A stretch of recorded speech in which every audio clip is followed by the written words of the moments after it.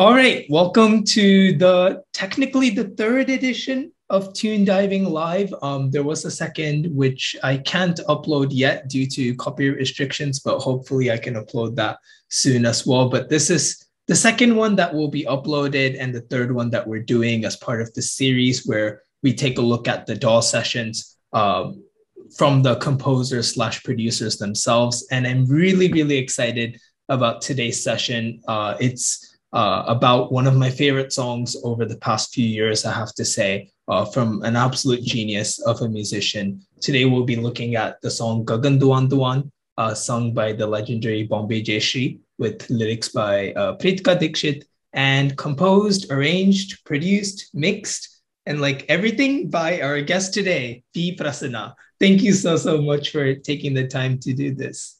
Thank you, man. Thanks for having me.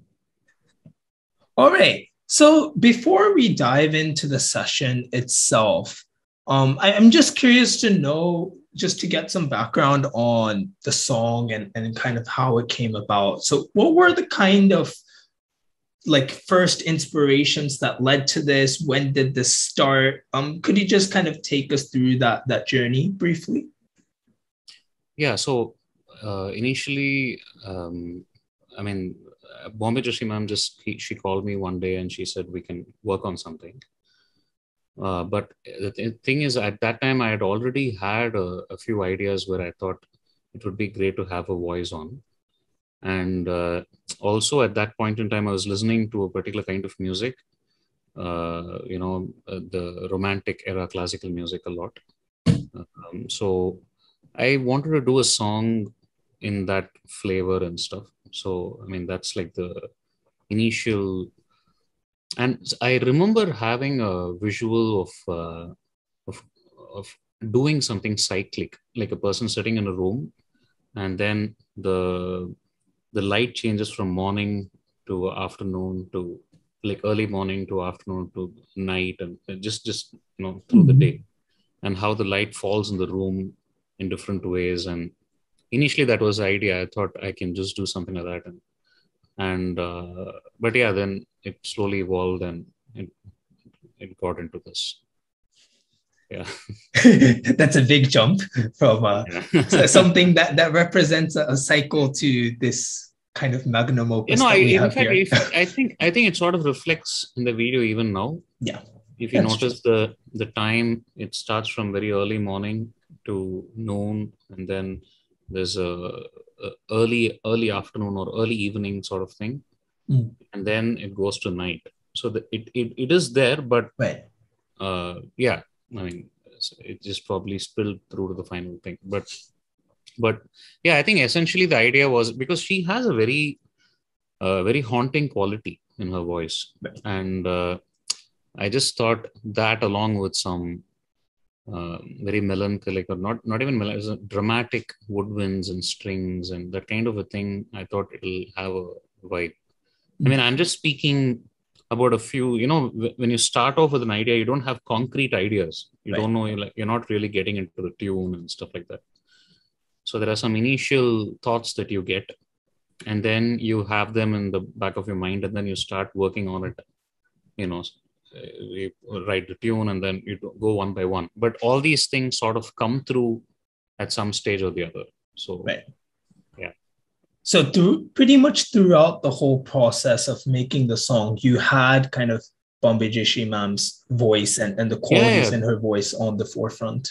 This was no this was actually done for her singing only for her voice. So I I uh, checked out her other recordings and I explored like w- what is the range she's how she sounds in different ranges and stuff and uh, also um, she has that um, unique capability i feel that you know she can actually uh, deliver a standing note really brilliantly like you mm-hmm. just ask her to stand on a note for long her vibrato really makes it engaging to listen to interesting you know what i'm right. saying Right, right, yeah. Apart from the very melodic Indian stuff, which he can obviously sing brilliantly, I thought this. So that's why I thought you know we should really capture all these, um, the her strengths and sort of i mean it was not done consciously but all these things are in the back of your mind Mhm. so when you do it it sort of comes through in some way or the other Right, right. That's very true. Yeah, that's not something I've noticed consciously, but now that you say it, the, the kind of uh wh- when she holds a long note, it is very captivating due to the vibrato for sure. yeah. All right. So with the bit of context now established, um, let, let's dive into the session. okay So um, it's a big session for sure. Um, did, did, did you imagine it to be this big or did it just kind of grow and grow and it ended up that way? Um, see, the moment you're you're including uh, the various parts of the orchestra, it already acquires a certain size. Fair. But but here, maybe what what one of the things is uh, because I also I, I wanted it to be a song and not uh, not an, it's not an instrumental piece where I'm writing for one palette like an orchestra. So uh, one thought that I had was if I can make it some kind of a melting pot of various instruments. So this has pretty much every family of acoustic instrument and some synths as well. So there are these, I mean, piano, and then there's a steel guitar and a nylon guitar. There's ukulele, and there are these tremolos, uh, which we tracked in the ukulele only, and the nylon guitar, and uh, there's a harmonium, and there's a, a celesta, and then the synths are there, and then there's backing vocals and some SFX, and and then the full orchestra, the brass, strings, woodwinds, and all that stuff. So when you have the the idea, I thought if if I can sort of do a a mic, mic, like a, what do you call a melting pot of various sounds, but find a way to make it it's, it shouldn't it shouldn't stick out. It should should come together. So it was just uh you know like it was just i would say uh, an ambitious ambitious idea to start with. And uh, i just thought i'll just experiment with that. The thing is the the challenge was to find the organic flow. But the thing is i mean all this I'm, when i'm talking about it it, it sounds like i really um, thought about it and did it. But many times you know you have these things in the back of your mind and when you're doing it the right proportion of each idea comes through. Mm. so i think that's how it works yeah. But yeah i didn't i didn't expect that because first of all i didn't think that i would be mixing the track Mm. so when i got down to mixing it yes i did realize the size of the session and it was quite um yeah challenging but i also enjoyed it because it's the first time i'm mixing my track so i enjoyed it. Yeah, that, that's something I, I've noticed while working on music. You only notice how how large a project is when it gets to the mixing stage. Yeah. When you when you have to bounce stems and you're Yeah. like, oh no, Yeah. I have to bounce like way more stems than I thought. Yeah, Yeah. for sure. All right, so let let's get into the song itself. Um, sure so perhaps let's just play it section by section and uh and then once we kind of listen to a certain section we'll we'll dissect that section a little bit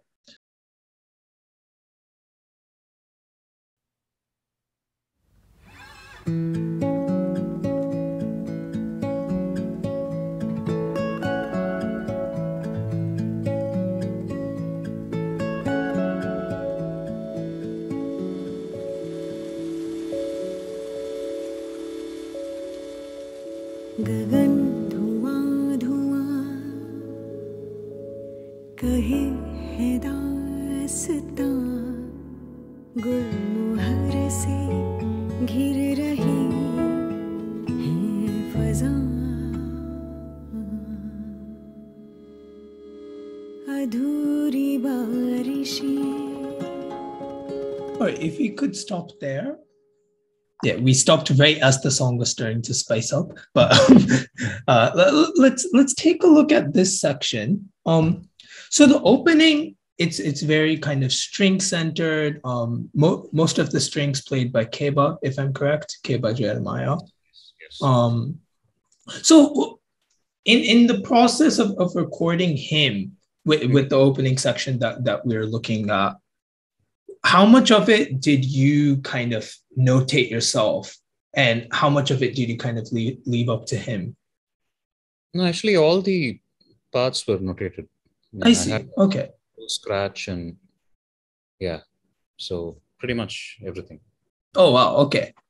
Yeah. So could could we take a listen to some of the individual layers there? Sure. So the, basically, the opening starts with the nylon guitar. So I tracked both the nylon and the acoustic for the same. But um the opening I wanted to be a little dirty, so I also had some guitar SFX. So I start with a slide.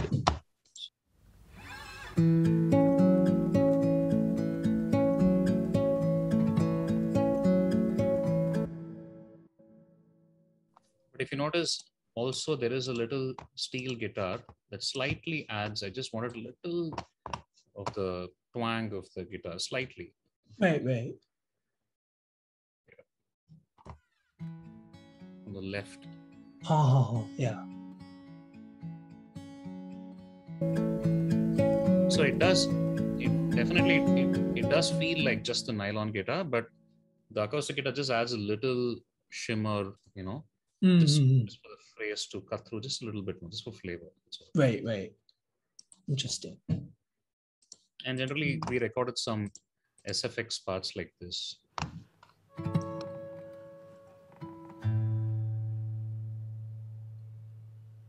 So, yeah, if you notice, uh, uh, the SFX parts just just add some dirt to the thing. Right. Right. I just wanted to be a little uh, casual at the start, Mm. and then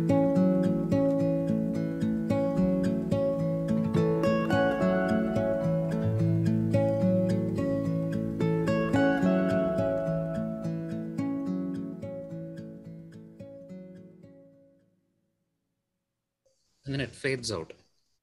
Maybe one thing I can point out here is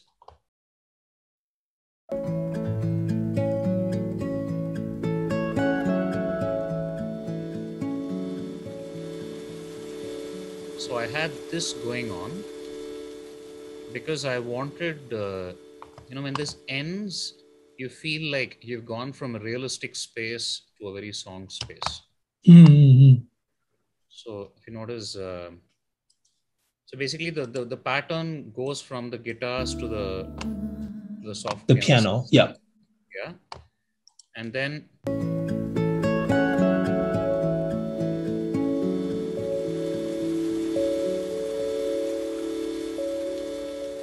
Gagan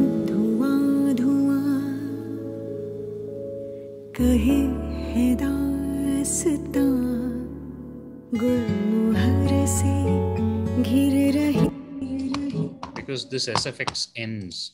Right. before- Right. Right.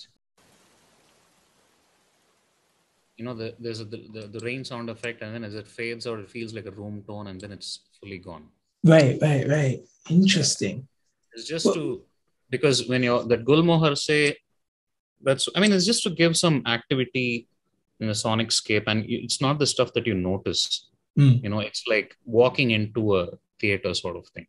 It, it's just like a transition of of a certain atmosphere to to a different Exactly. space. Right. Yeah. Right. Something like that. Yeah. Interesting.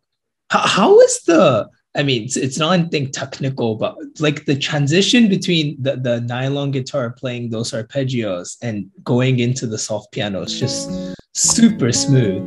I mean, it's probably just automation, but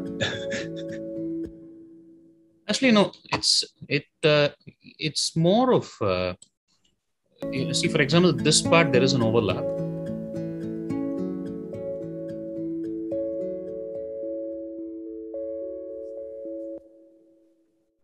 Yeah, it's just about it's like hand holding and then sort of leaving, you know, right, right, right, right.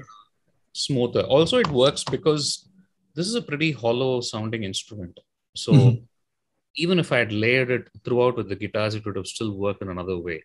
Right, So right, right. transition becomes easier, which probably if I was transitioning from a guitar to a piano, that would have been a lot more Difficult. challenging. Yeah. Mm. But this sort of and also it gives a different perspective. I don't know how to put it.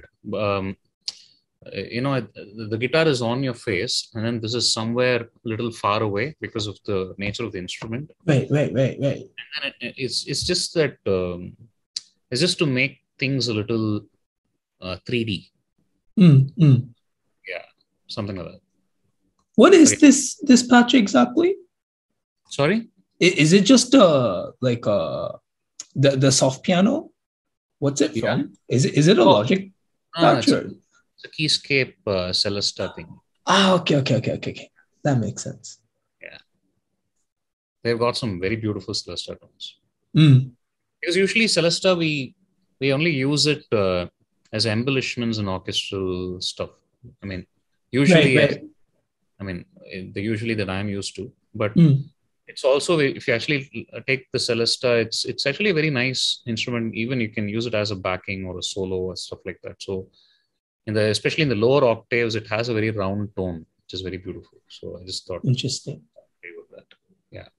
All right. Um, is is there anything else in in this section before the the melody comes in? No, so basically here the idea is um, I want to introduce the main motive, which is this. See,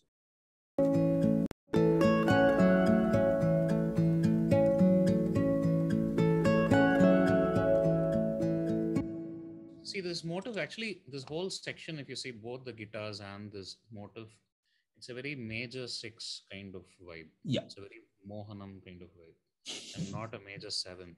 So there's no. So just to embellish that and get into that mode, Mm. and also um, there is this piece called Morning Mood by Edvard Grieg. Okay. So that also has a very similar flavor. So and I just wanted to sort of get that vibe into the song. So I went for this very major six sort of thing, and th- th- this motif is also something that uh, you know it gets repeated in different contexts. Yes.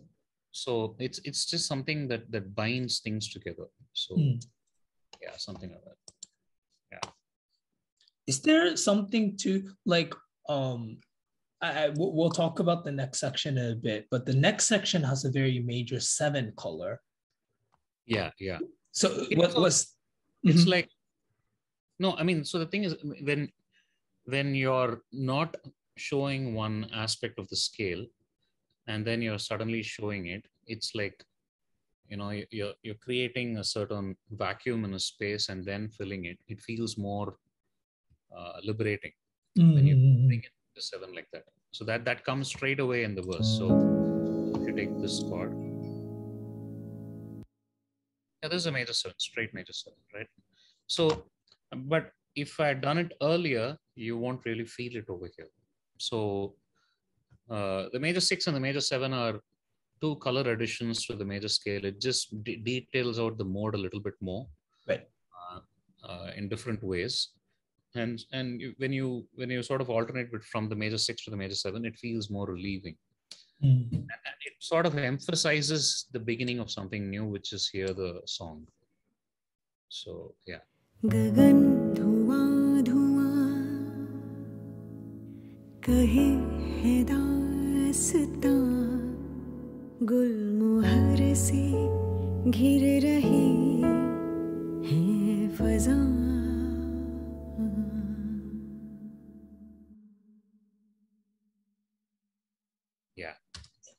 Something that really struck me about the, the way you did the piano arrangements here. Uh, fir- firstly, just just the way you voice the chords, it- it's so beautiful. Like, what's it on the on the piano? It sounds. Have you taken out the fifth or something on the opening A major, A major seven? Or no i have it sounds like G sharp A, let me C just sharp. try the piano. so or maybe it's just the introduction of the of the seventh that gives it that color. But it's actually it's got a ninth as well in it? Oh really? Yeah.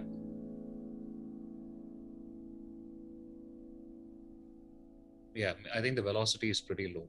I mean actually this is the usual way i play the chords on the keyboard really work on this but wait wait that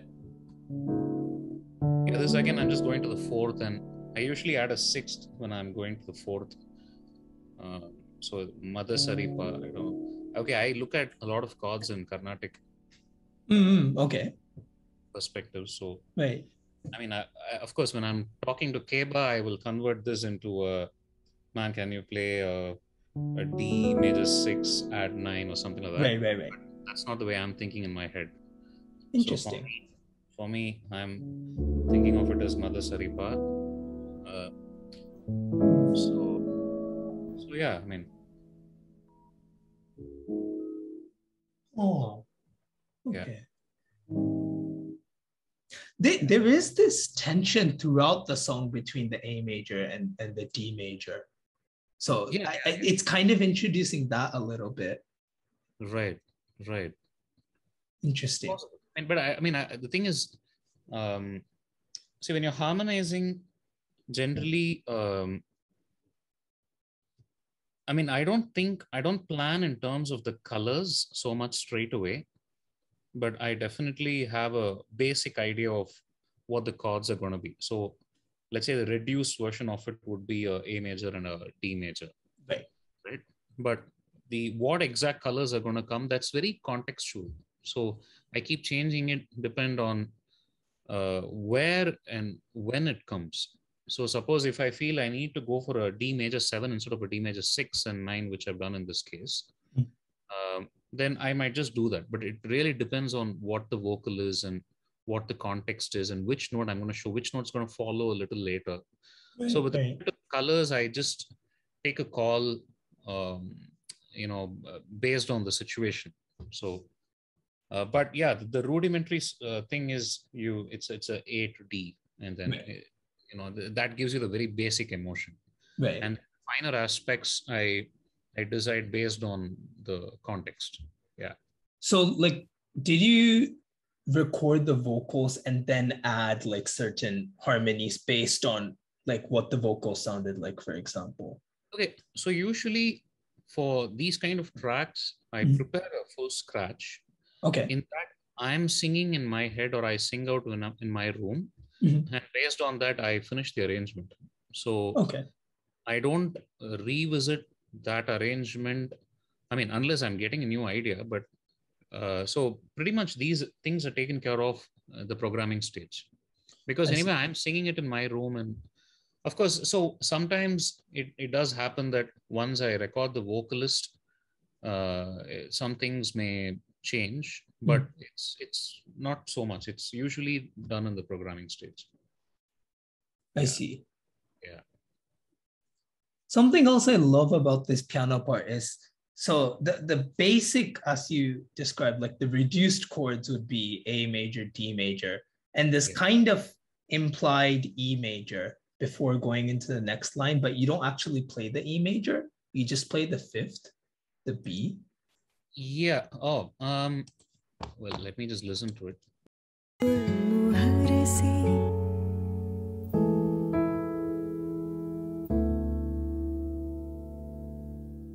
it's a suspended sort of thing. So in a lot of places i've used the suspended more than committing to a, uh you know fifth major or something. Right, right. the suspended sort of keeps you uh, i mean I, I like it. I mean it's just a taste preference. It's not so much as to there's no uh, i mean i could have done with a regular e major as well. Yeah it is not committing anything there I I was talking about the the part before. So Okay. That that. oh yeah i'm not going going with anything over there actually i'm just playing a re in the piano that's it Right, right. Yeah.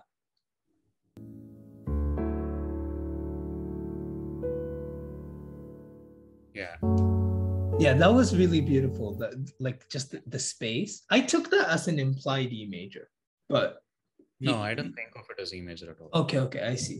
Just i'm just still in d Mm. and i'm just uh, hitting the b note that's about it I see, I see. Yeah.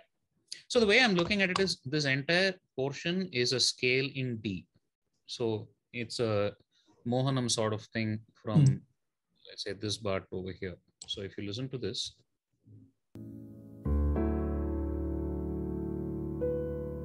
see that you still hear the sustain of the D, right? Yeah, yeah, yeah. And then on top of that, you hear the B. So, uh, yeah, I'm just looking at it as everything happening over D Mm-hmm. because a, Interesting. a E shift w- there would be a big shift, and and over here the vocals is sort of breathing. If you notice over here, कहे है दास्तां गुलमोहर so a movement there would be huge. so Right, right, right, I right. just want to stay in a meditative zone and just keep it two chords. That's about it. Mm-hmm. Yeah. That makes also, sense. the piano was arranged for piano and guitar. So if it was just piano, obviously I wouldn't have. I would have probably slightly changed it up. Right. Over here, this part, the piano interacts with the guitar, and that's the vibe.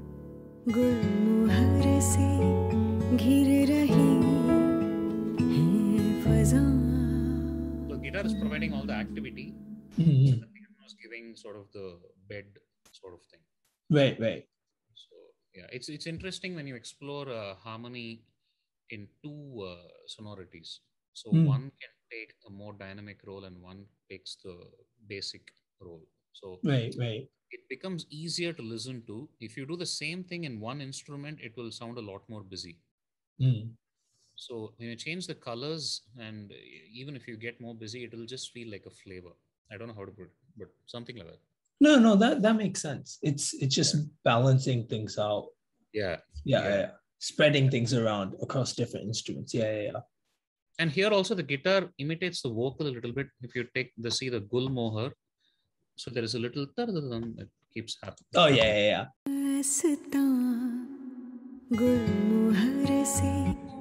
yeah, that's for the good. Mm. Like it, I just so just stuff like that. I mean, yeah. Right, I mean, right. They're all instinctive choices, but when when I look back uh, and when I talk about it, it might sound like very uh, considered choices, but many times you, you, you when you're doing it in the flow, certain things just happen, and then you. Mm. It. I hmm. think it's a combination of your judgment and your instinct, so it just has to work in tandem. Right. Yeah, that that fall was like when I played that fall in isolation. So I Hmm. think it's like it's what G E C sharp F. But so when I was playing it like that, it sounded strange. But when I listened to it with the song, it just worked. I think I would have gone for a, ch- chinnani over there. One second. oh, oops.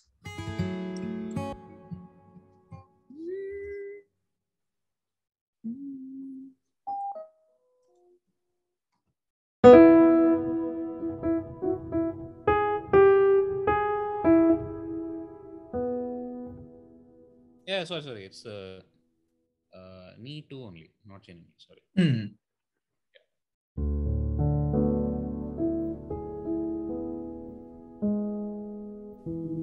I don't remember the exact notes, but something like that. Right, right, right. Yeah, yeah, yeah.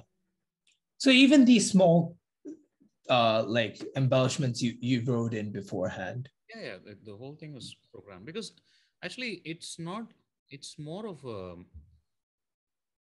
I mean, this one is actually like a written part kind of thing, right? Mhm. So yeah, I mean, this is all pre-planned. Right, right. Interesting. I mean, for this, see, there are some tracks where there is space for the, the let's say, the particular instrument to breathe. Mhm.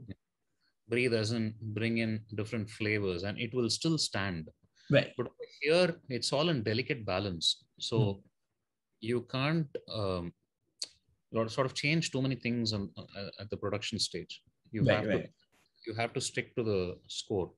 But let's say if I'm doing a different kind of a track where there's more space and the the the intent of the arrangement is a little different. Over Mhm. there, yeah, we can explore different ideas and stuff like that. Mhm. Yeah, this one is pretty much locked to the score.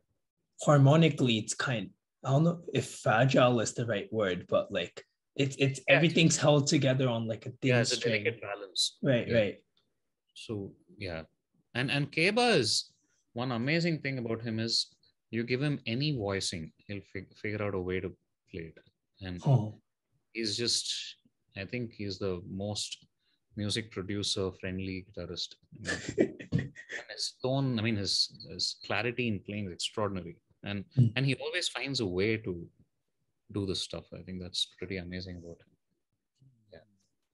Is there anything else in the in the kind of opening section of the of the melody that we've missed out on, or is that is so it I mean, mainly? Mhm.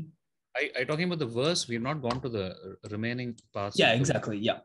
so for me this verse a is like one chunk because i'm playing the same Okay. uh, we, we call it sandam in Tamil. Mhm. Uh, I guess it's motif in English. So,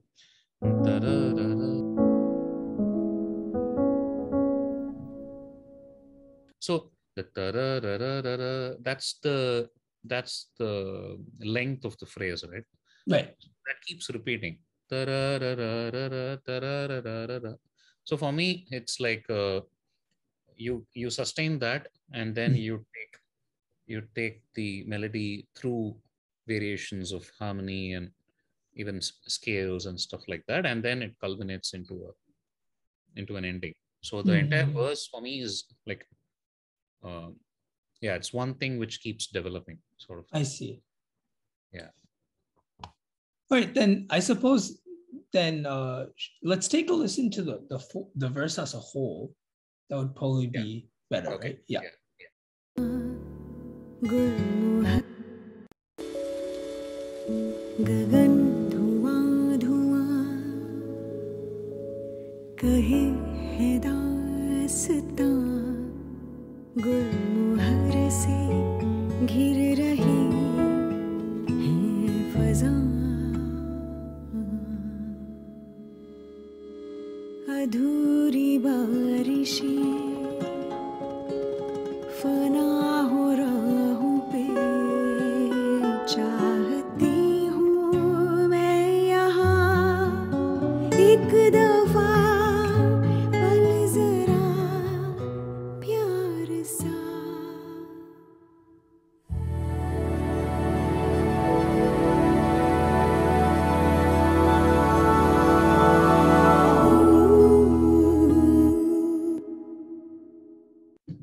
basically um, over here the thing is uh, the first part of it is very pleasant major scale Right, right. thing. And then Aduri Barashi onwards, it gets. I mean, I- actually, the thing is, these ideas came after the lyric was uh, locked. I So, see. I okay. in the sense, I had the tune and the chords, Uh-huh. how it's going to be expressed. Like the piano goes away here, practically everything goes away, and we just have this tremolos and um, you know just a little the the celesta alone here. It, it Mm. suddenly creates a lot of space over here, right?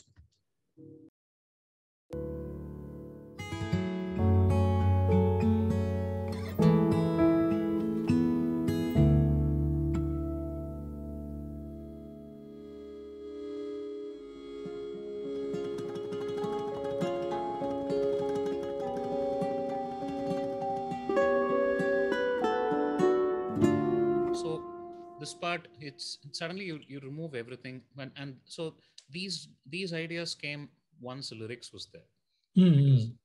because aduri barishe means unfinished rains uh, and fana Raumpe that died on on the way so it's slightly melancholic and stuff Mhm. you know I just wanted to create some drama over here by removing the the guitars and the, the piano the, the back especially when you take out the low end it, I, I feel i always feel it creates a curiosity. Mhm. want to express these harmonies over here this way. And also this this palette of harmonium and uh, the celesta and the tremolos is very I, I don't know where or how i've i've heard this but i think this palette is a very dramatic palette. I don't know why. Maybe somewhere some musicals i might have heard. I don't know. Mhm. But yeah so that's the idea over here and and also it's very interesting when you express your chords um, indirectly so instead of just strumming the chord or playing the Yeah, piano yeah. very barish, eh? uh, when you play it this way you, it's you, you don't i mean it, it just takes you into the mood and you don't know what chord it is Right, right. you know so i mean technically the chord is um Sorry. uh, C sharp, G. and then the next chord is actually the just minute? three notes so these three notes are it's it's I, it's technically a a dominant nine but without the a and the e i don't know how to A dominant nine without the A and yeah, that's oh okay. So It- that that's- just the g tritone uh, right, right, right. E. I Yeah. wrote it down as C sharp diminished, but uh it's not c sharp diminished it's not it's if you It's- add an E, it is. No, if you add a E, it is uh, E, e minus six. Yeah, basically it's E minus six without E. E minus six without E. Yeah, yeah, yeah. Okay, okay. Yeah. So Right. that's actually a tritone chord. It's not a diminished. Wait, wait. what? Diminished would have would have. Uh, I mean, it, ha- it has to be a B flat if you want it diminished, but there's a B. So there's a G. Wait, wait. There's there's a B. Yeah. Oh, so it's B C sharp G. Yeah. Oh, I see. I didn't hear the B. My bad. My bad. Yeah. So Okay. so the thing is, this one again because of my um, because I'm I'm not putting the chords straight away. Mhm. Because here I whether when I added, I mean at the late at a later point in the piece, I I do add the E because over there I'm expressing it as a chord. Right, right, right. But over here I don't show the E. I, I just these three notes give you the tension. Mm-hmm. So uh, yeah, actually the the main notes that I want is the tritone of uh, Right. G. but I just add the B so that it stands a little more.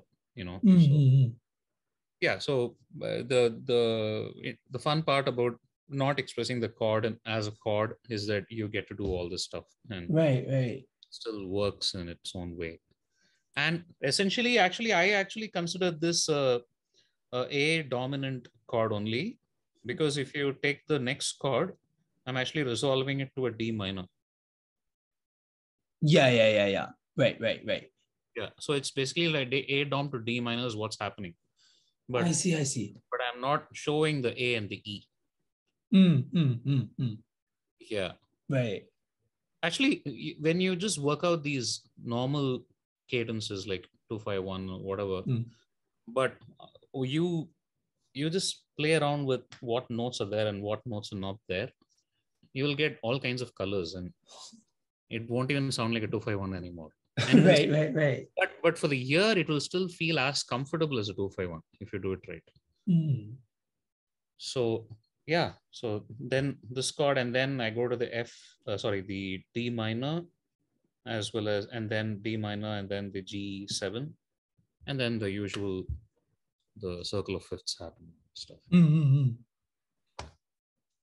and yeah, then mhm. sorry, to sorry. All these, these ukulele lines and it's just just uh, standard traditional arranging style so the harmonium gives you the bed harmonium and the transpose give you the bed and the celesta gives you the activity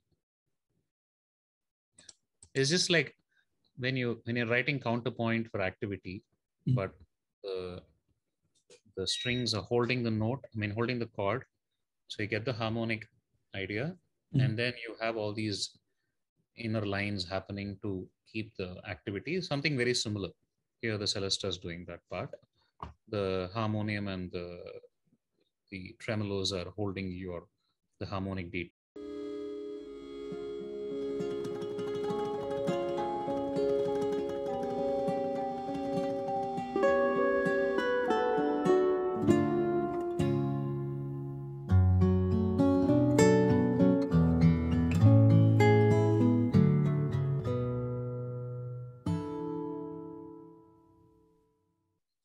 it's kind of yeah, that I never thought of it as as counterpoint the, the way you, you just phrased it, but like it, it kind of just turns into a series of of counter melodies that just string the section together. yes i mean see uh, the word and we we have different words for different things Right, right. we have counterpoint usually refers to one thing but if you take the the core of it all Mhm. uh, it is to sustain interest so Hmm. Counterpoint I feel the the most uh, functional purpose or thing that the counterpoint does is to sustain interest. Right. So if you're having if you're just playing the chord in the downbeat of each bar, and let's say the, the piece is slow Mm. and the melody is going on, when you just hold the chord, it's relatively boring. Right. Uh, so and let's say you don't have a groove, uh, again it becomes a little static. So just to Mhm. give your activities, you either write some inner lines. Sometimes they're melodic lines. When they're melodic lines, we call it counterpoint. Right. Uh, like when because the counterpoint is sort of interacting with the main melody, but when you're writing a riff or something like that, like a groovy thing or a pattern, we don't probably call it counterpoint. But if Right. you take the core of it, it's the same thing. You're just trying to engage while holding the basic chord or whatever. Right, so right. you can do that with sound. Like you're just holding a synth chord and then you're playing with the the cutoff or something like that uh, through the uh, through the bars. Like if four bars you're holding a chord Mhm. and then the melody is going on. Just to add some interest, you might add add a little pulse or I, I mean that also comes here. So just to you know when you're playing with all this, just to sustain interest basically, and we find Mhm. different doing that. So I mean, that's that's what I'm doing here also. I mean, imagine if I just remove the soft piano, you'll get what I'm saying. This is just the chords.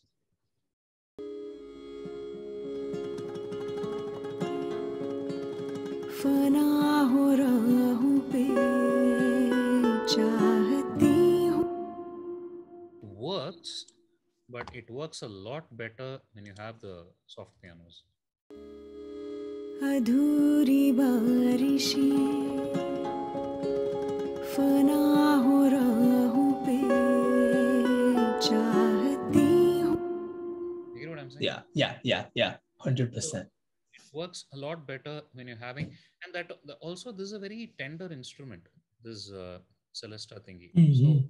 it's really not going to take your attention. It's not going to interrupt your listening in a big way. It's something very subtle that's giving one detail in the background. Mm. You, your attention will still be on the vocal and the performance only. Right, right. So just these kind of, and all these are tender instruments. Like ukulele is a very tender instrument, celesta, and even the tremolos. So it creates that that mood, so to Mm. speak. And then of course here, um, this is where I, I mean, this is I consciously did it as an experiment. So there are two guitars here. One is a steel guitar and the nylon guitar. Mhm.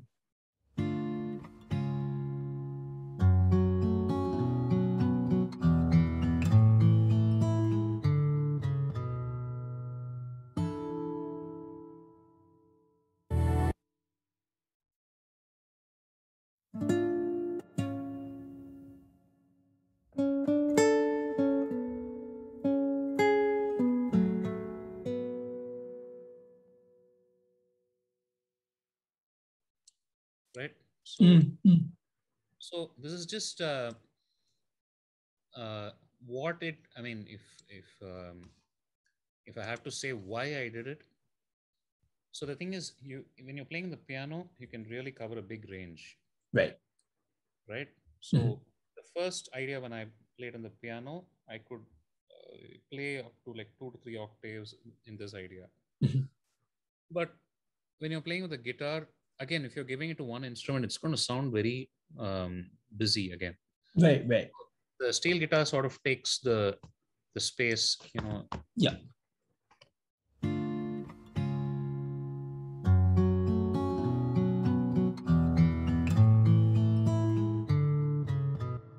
So it's got it feels very natural. And Mhm. then and then dun dun dun dun dun dun dun dun dun. That's again like a counter melody something. So that I'm just giving it to the nylon guitar. But the cool part here is credits to Keba.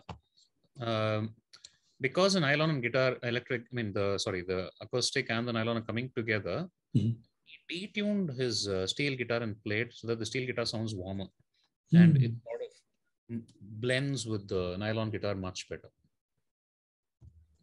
Yeah. Interesting. And also, you can slightly pan this left, and you know this is all left. Oh yeah, that's true. nylon guitar is all right. Right. Mhm. give us a little stereo image as well.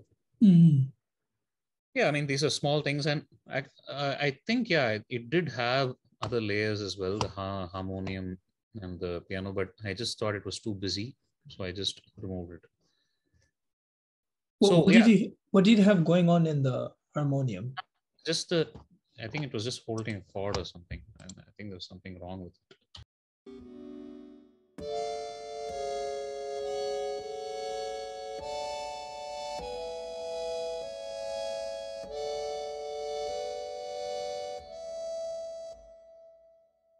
you know Mhm. something like this but i just thought it's not needed for this place and Right, right. I see. So this is a call actually I took um, after tracking Keba. So this definitely happens. I I always feel sometimes in the programming stage you tend to overproduce sometimes, Mhm. but once you hear the live, you just feel that's enough, man. You don't Right. need. So once the guitars were tracked, it was generating all the beautiful resonances and stuff. And uh, so I just thought let's let it just breathe a little bit, and I muted the other stuff. Mhm. And also, I think the guitars and vocals alone is a very pretty sound. yes. I just thought. So also here, this part was pretty important that the guitars play in this range because so far there's no bass in the song. So the bass Mhm. comes Yeah. from the chorus here. Right. So if, so if you directly do that, it will be a stark movement. So if you see over here, this sort of introduces the bass range.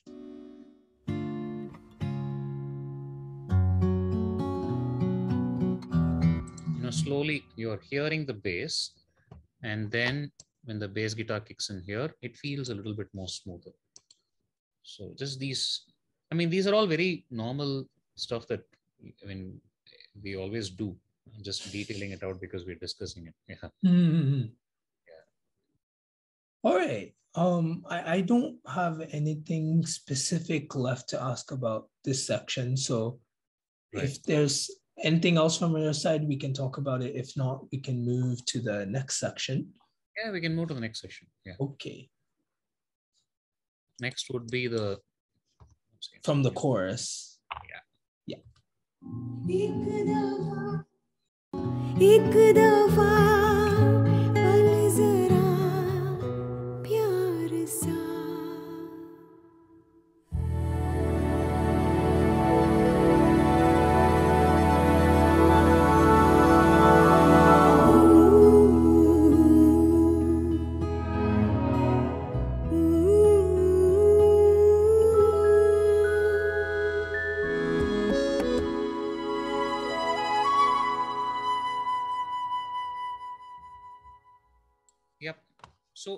Yeah, do you have anything specific?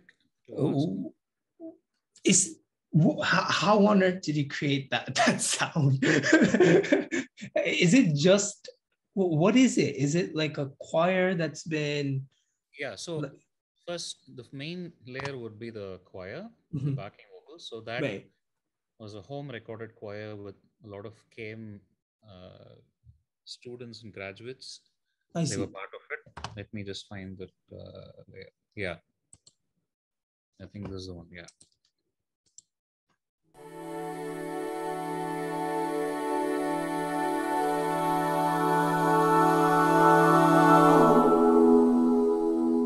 That's gorgeous.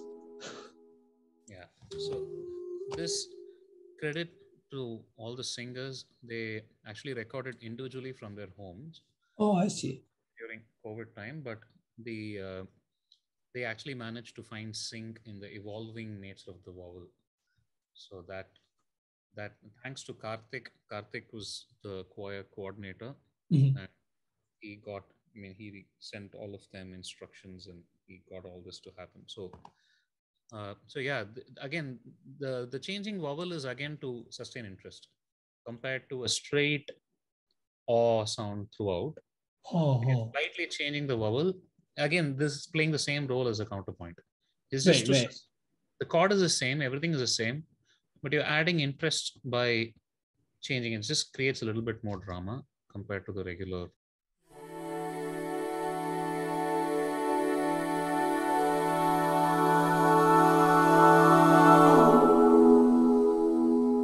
So when the chord changes, they go to oo. So Right, right. Yeah, ooh, like that. So changing. Wait, at, at what point did they go from A to R?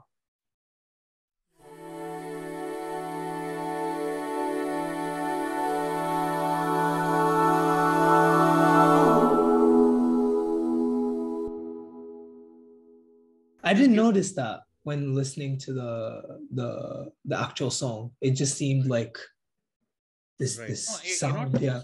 notice it because these are subtle strokes Right, right. meant to, uh, you know, uh, add interest. You know, when Mm. you listen how you because otherwise it's it's just one chord, and uh, if if I don't do this, then I'll have to do something else to add interest. Mm, You know what I'm saying? So right, right. this is the main layer, and it's a very cold sounding choir, which sonically, I think, for me at least, Mm. is very different from the very warm palette of um, ukulele and harmonium. Right, right. It feels very cold to me. So it's a lot of highs and stuff like that. And over here, um, I wanted to add some distorted, distorted sounding synths. Mhm. So because I'm lucky to be a good friend of Prashant, I got him to work for me for free. So he added uh, synth layers over here. He has a real He has Prophet. So I can show you.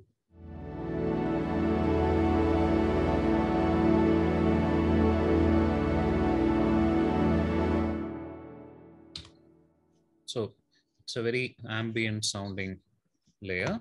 Mm, And again, for interest, we added this.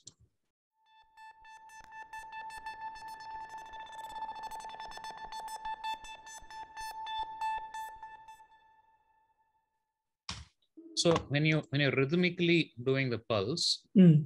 it's oddly rhythmic. It just it just sustains your interest to listen through the chord. Right, right, right. So this and this because this is a this is actually a very warm sounding thing for me. Yes. and then this is pretty cold so i thought it makes a nice palette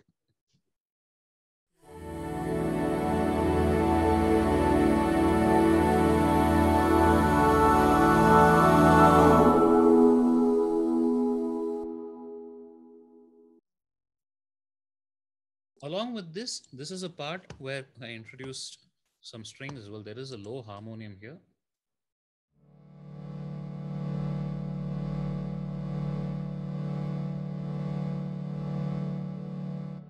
again the pump of the harmonium gives you that interest through the chord. Right, right.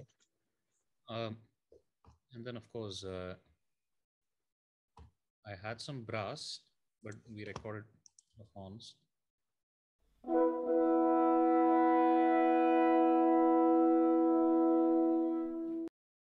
so as you can clearly see i'm a michael jackson fan This is a- this is a straight rip-off of that uh, you are not alone song Mm, the pom pom horns that come.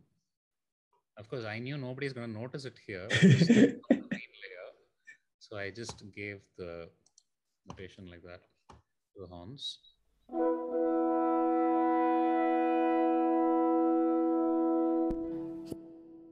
And then the strings are there, but I think I muted the strings over here because I didn't see it that much. Actually, I, I initially added a very uh, I added the the harmonics in the strings, but I just thought it was a completely different flavor. I muted it later.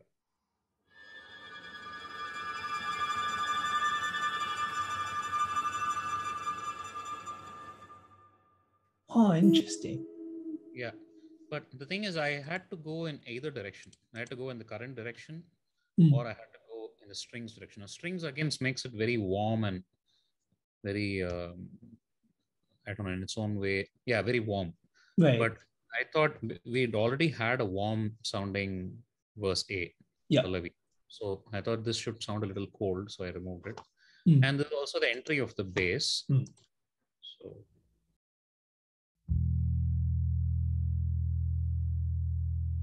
yeah, so this first time we really have the low end of the song. yes.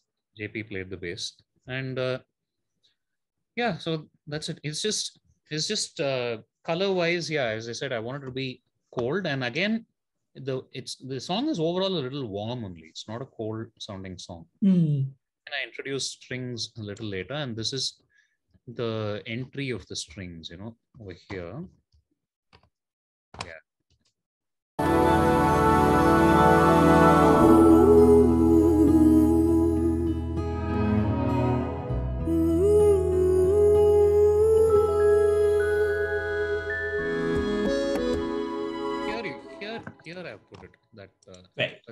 of tremolos, not so much harmonics.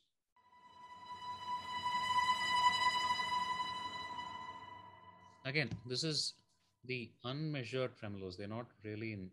It's not in rhythm. Yeah, yeah, yeah. So again, these just to add sustain, I mean, interest to the sustained portions. Mhm. Over here again, this is the idea is just to do a scale shift to the new thing. Right. So A, I'm going to E, and again, she she does the same motive, which is the Gagan Dhuvana's motive, but in the new scale. So Gagan Dhuan Dhuan is what's happening here also. Oh, Gagan Dhuan Dhuan, the same motive basically. So just to make you feel comfortable, if you're going to a new scale, Mm. and if the motive repeats, you have that access point to travel to a new place. right, right, right. Sort of completely starting with a. If I did not have this, and if I went to verse B, it would have been a little hard to digest. Jolting. Right, right, right. So, so yeah, that's When you were talking about like the cold choir, did you try to reflect that harmonically in any way? No, harmonically, generally, I, I really like the chord is basically actually I don't look at it as a suspended chord because suspended chord means something else for me. Right, right. This chord is basically uh, a D major over E. It's actually a D add to over E. So okay. that's the way I look at it. Uh, Mhm. Yeah. So what I mean by when I look at it is, you know, the same chords, the way you look at it will change the way you use it. So that's what I mean. In the sense, uh, if I looked at it as a suspended, Mhm. uh, I don't know. It's suspended for me. I, I will use suspended in a different context. Uh, it's it's a non-committal ending. That's what a suspended is for me. Right, right, right. But this for me is more of a it's like a flavorful it's actually a more completing feeling for me when i Mhm. also although technically this is not the most uh, it's not like a tonic or something Right, right. for me this is good enough it's a it's a nice uh, abstract way to complete stuff Mhm. so generally i repeat i mean uh, so i'm also repeating the e note the e note is Mhm. there both in the bass as well as in the chord Yeah. so it, it feels better when you're having that f with the g and then the g on the bass Mhm. and the, here the thing is the f uh, sorry not the f uh, this the scale is in a right yeah Yeah. e with d so what happens is because the d major also has a in it Mhm. It feels complete for me Right, right, right. so yeah so it, it, the coldness is more on the sonic side Right. this is more on the uh, it's just a harmonic choice and also it, it lends itself nicely to the next section Yes. so it's like because the A- bass is already in e it's like you're just shifting modes and you're playing Mm, mm. E, and then you're shifting to the e major itself it's just like Yeah. Standing on e and then you're just shifting from one rag to the other yes. yeah so And it- you- it's a smooth transition instead of a very cadence kind of transition And you also foreshadow the uh what would it be? C C augmented that comes later on. yeah yeah that's just uh, that's just for flavor Right, right. Yeah. Did you see it as foreshadowing for later or just as adding flavor to this specific section?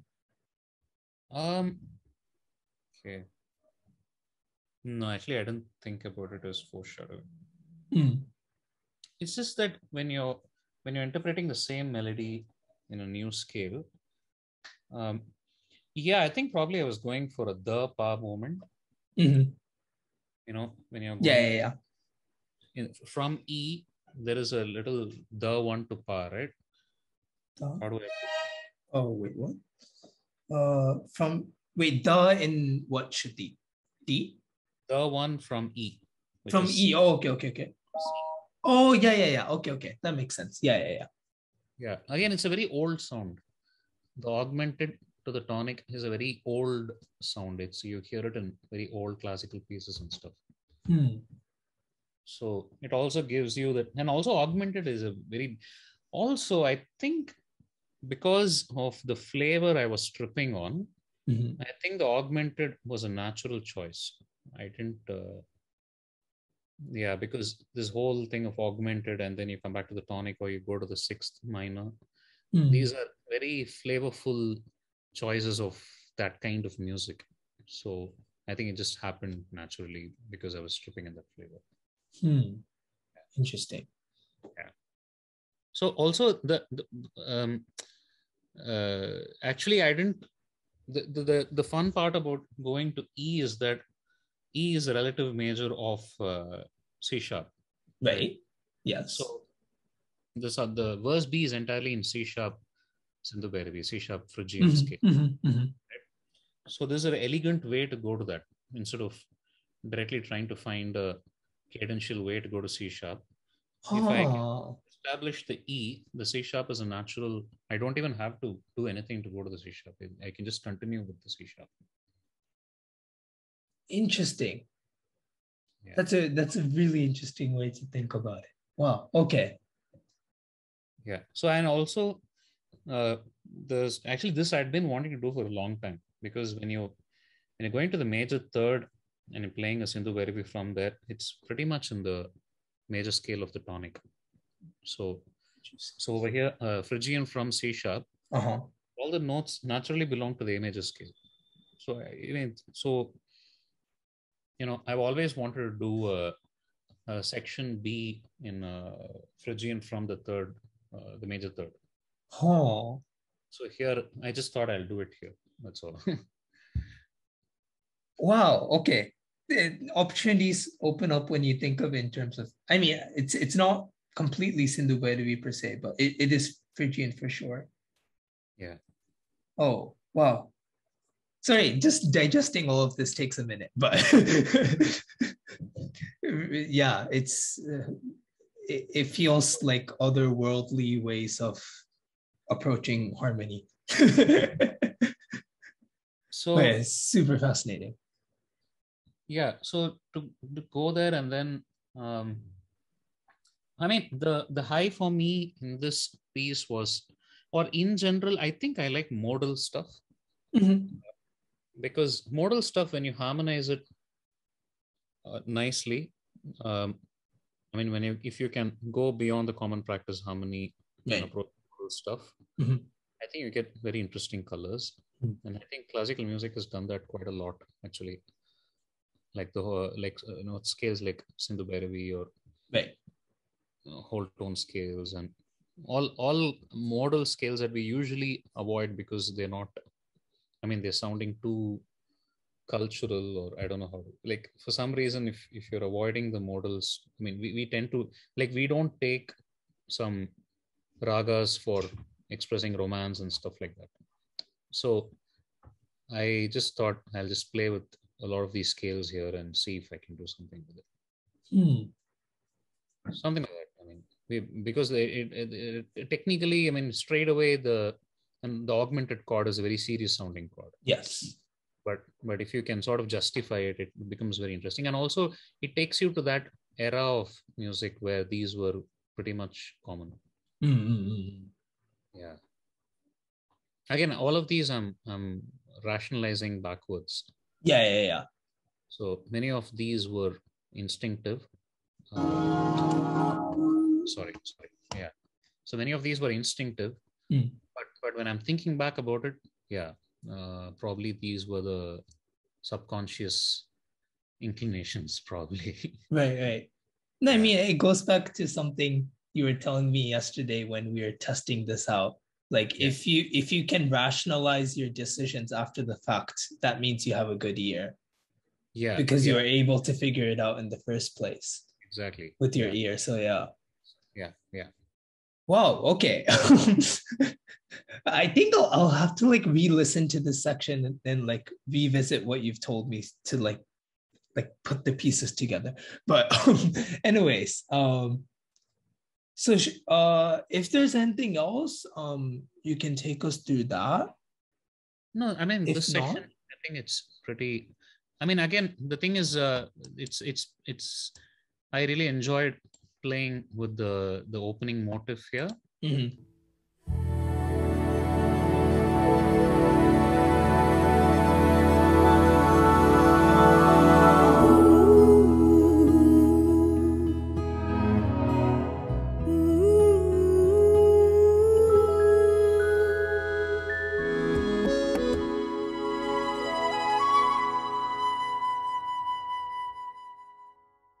What is that percussive layer?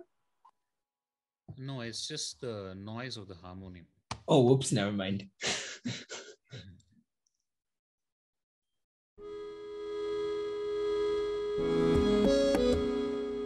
okay, okay, okay, okay. Sorry, sorry. I just kept it. Yeah. So uh, over here, I mean, again, see that that one. Mhm. I'm repeating it here in the new pitch. Right, right. Again, it gives you context. Uh, I mean, um, somewhere you know the thing is the entire song has only two strong uh, motives. One is Mhm. that da-da-da-da-da-da, that that uh, thing. Yes. And, uh, the other thing is that. Yeah. So this keeps this keeps repeating in various colors and shapes and all that stuff. And and if you if you're having the same motive, now you can explore um, what plays it. Like over here, the harmonium plays it, and then the Mm. flute. So because verse B is going to have a lot of woodwinds and strings, I'm slowly sort of introducing that over here.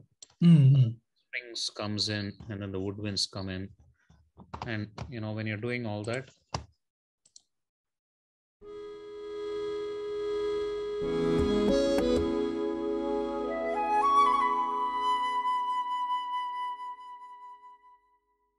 you see.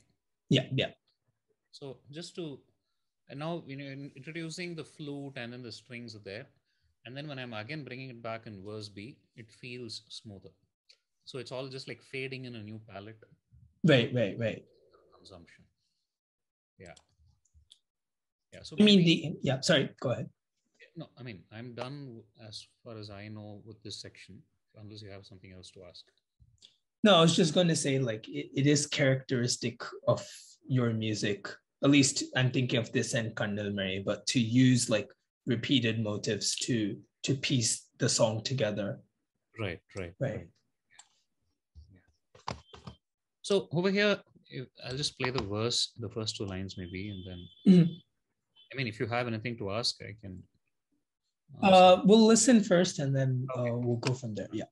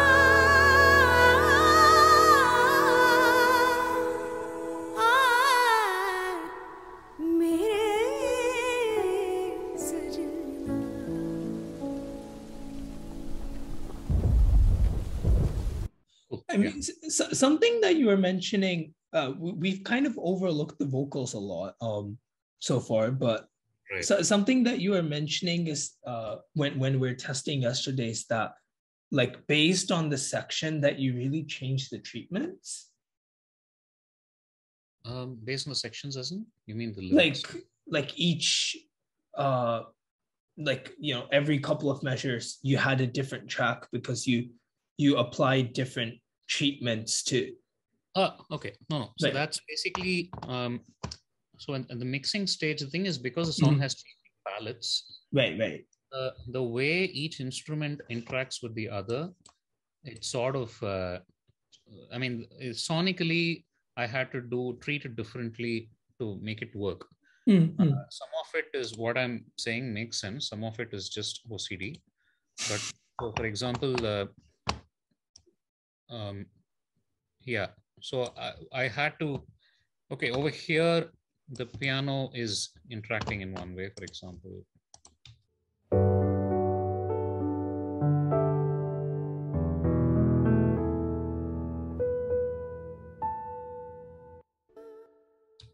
So here, what the piano is interacting with, the instruments are different. Mm. And over here, it is just the piano and the vocal and the white noise.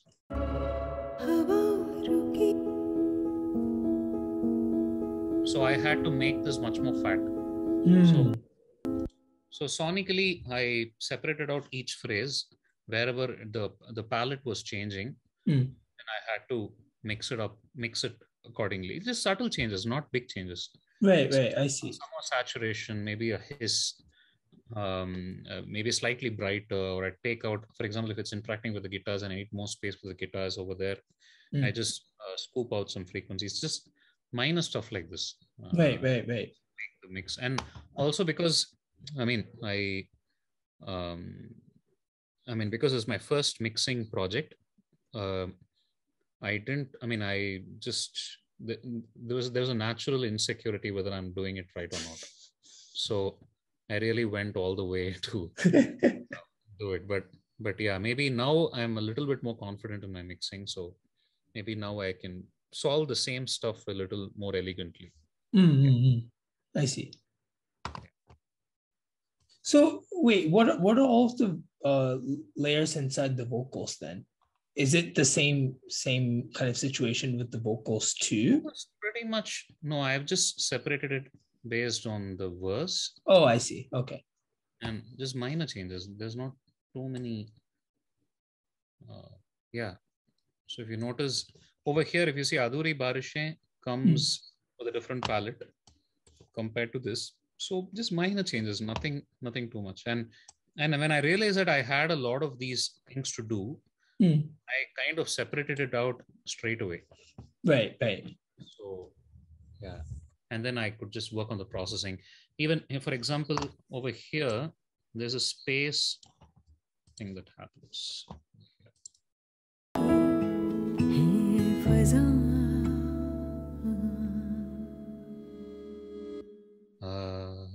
her uh, she sings right? Uh-huh. so that i've given a lot more reverb. I see. So i separated that out.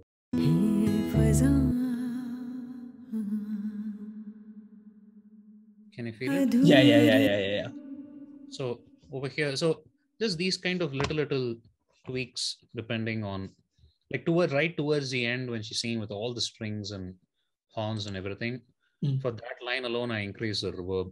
These kind of little little stuff. Mhm. So, I mean, layers wise, it's quite thin to start with. It's just uh mainly like guitars and vocals, if I'm correct. Yeah, yeah. Yep. है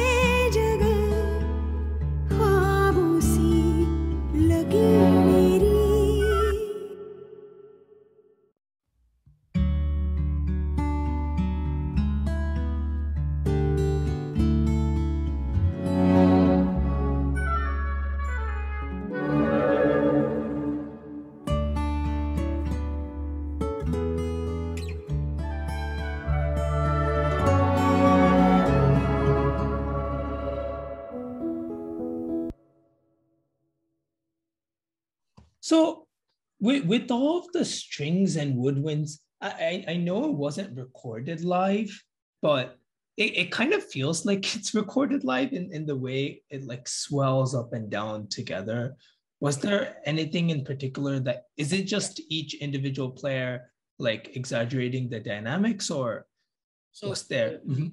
we didn't record it in the typical way where the ensemble sat together and played it. Right. because it was COVID lockdown time, Mm.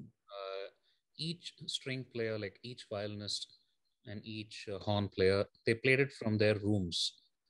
And then it was all put together and uh, mixed. So, yeah, so it's not a typical uh, orchestral recording where they all sat together. so that is so the thing is um, because I anyway wanted a little dark sound for the orchestra. It's a I've taken off a lot of the highs, Mhm.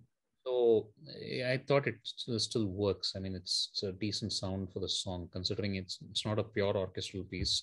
Mhm. So I got, sort of got away with the uh, the this recording style, and I thought it got, sort of worked for the song also. So I just left it like that. Mhm. Yeah, but all the swells were all what the players played, and yeah, that was all there in the performance itself. I see. Yeah, I mean there was a lot of automation. See where it is. Yeah, you see, there is a lot of automation here, and a lot of this credit goes to uh, Joachim because he was the one who coordinated with all the players and Mhm. he gave me a first draft of the orchestral stems and then of course i worked on it a lot more and then Mhm. yeah so yeah it's a i mean these automations are are helping but uh, primarily it's in the performance I see. Um, what's the setup there in terms of like num uh like what what are the specific instruments that you have in there? so strings i had actually written for uh, six strings Mhm. two violins two violas and two cellos Okay.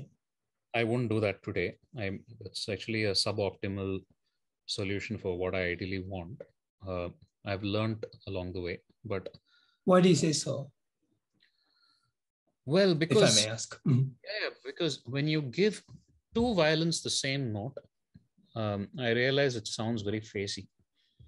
So you need at least a few, like at least three to four violins when when they're playing the same note. Mhm. for it to sound like a section. So in some parts, what had happened is uh, the two violins take a note, the two violas take a note, and the two cellos take a note. Uh, and then I had to mute one of the violins because it started sounding crazy. I So- see. So the I would have arranged it also a little better because I, I because I went for a sextet, I gave six parts in some places and three parts and four parts in some places.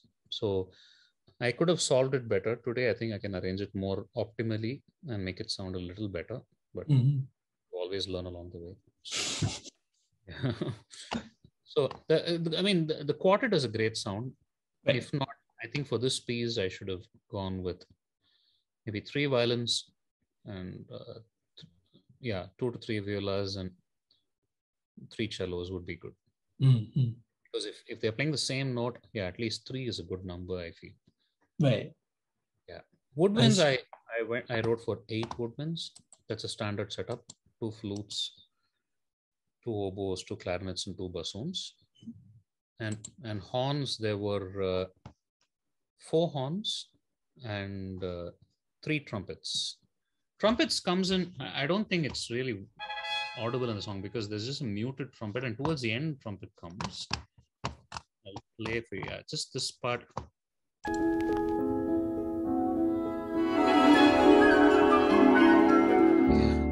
What what So yeah, just the trumpets play that muted part, and towards the end, the trumpets come in for the harmonies, and otherwise, it's just the horns and the woodwinds. Yeah.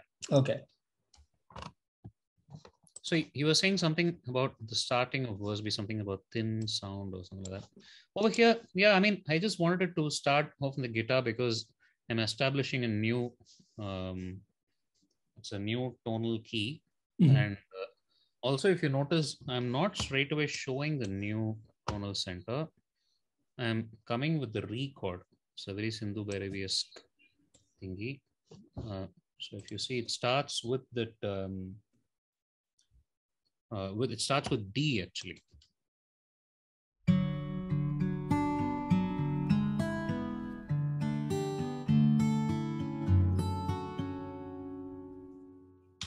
Right. Mhm. So it's a it starts with a D, but the D is the re one of the Yeah. uh, C sharp uh, Phrygian scale, right? Right, right, right.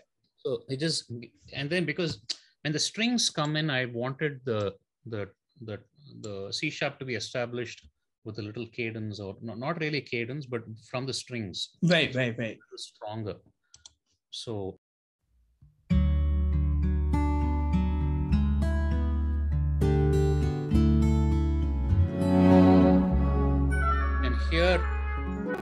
here you know it's the here you know that's the sa. So until then, Mhm. starting with the re.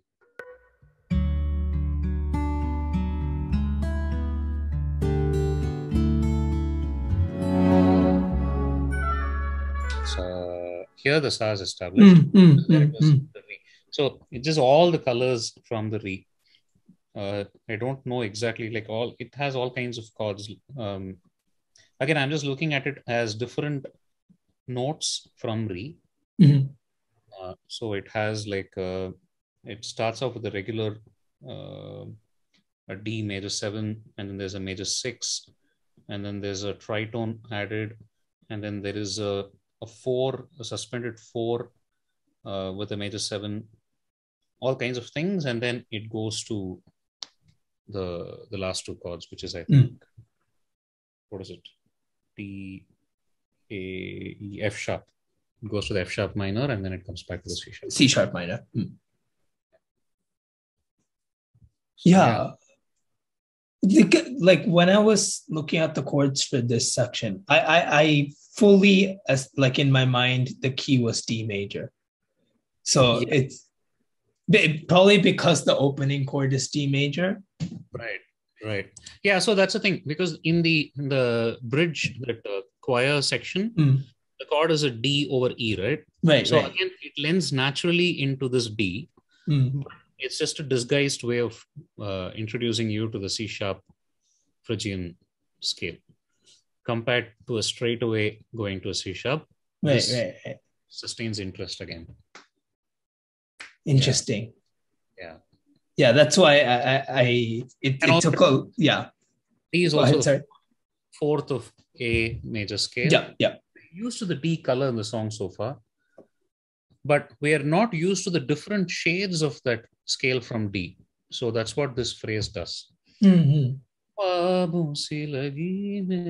That one's there, right? So mm-hmm again, that okay, my piano is for some reason keep getting switched off. Anyway, so that that again, it uh, before you go to that Ma chord, you're introducing that Ma two, and it, it these all little as I'm saying, I'm saying it out, it feels very um uh, what do you call it logical it's not that it's just just to introduce all those flavors before you settle down on that Sindhu ish feeling you Mhm. know what i'm saying Right, right yeah and then and then here it's you, you you're very comfortable with it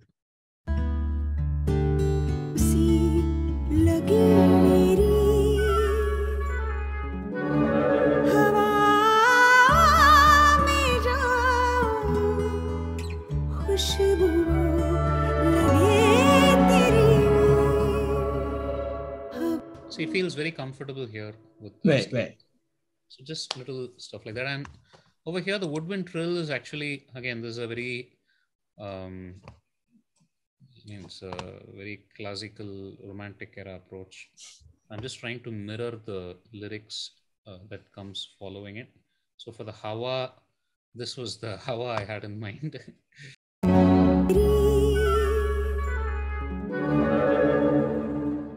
Yeah the woodwind trills is Mhm. the it's just it's anticipating the singer singing gonna sing hawa Right, right. I see.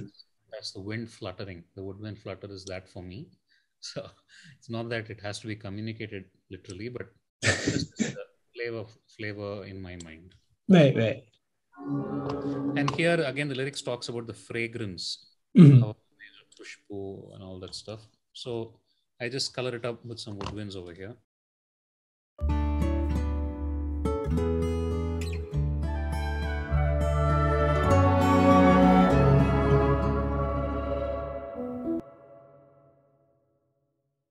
And then everything cuts out after that, pretty So, and, then, much. and then i'm going to the again the main motive gagan dhuan dhuan happens here again Oh, interesting.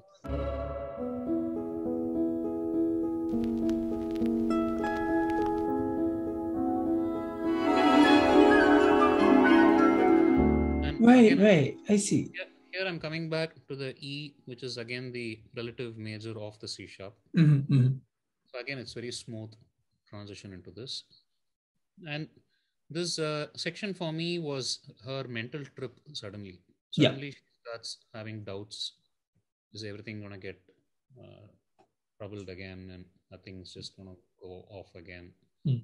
Kind of a little mental trip. And then again, she uh, reaffirms, uh, you know, that uh, to herself that everything is going to be fine. Hmm. So this is just a mental trip in between. Right.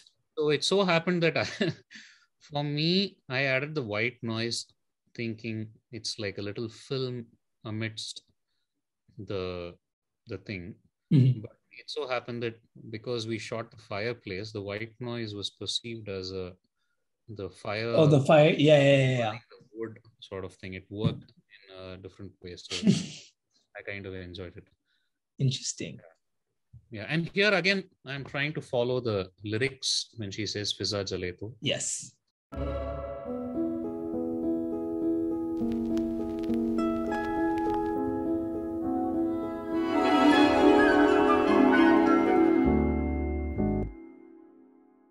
So that's when she says Fiza Jaleto, I'm having that whole tone descending scale. Yes. This adds that um, sort of uh, eerie feeling, Mhm.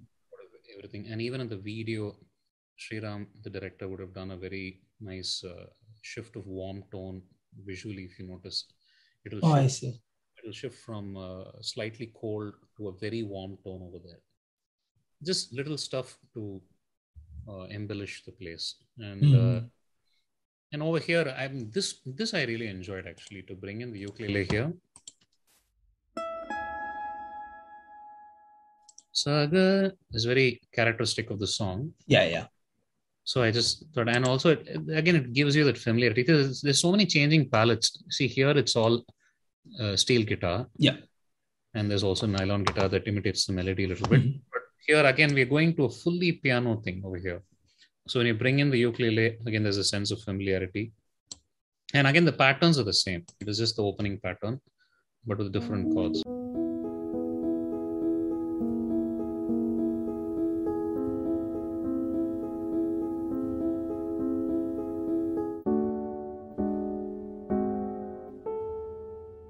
Yeah.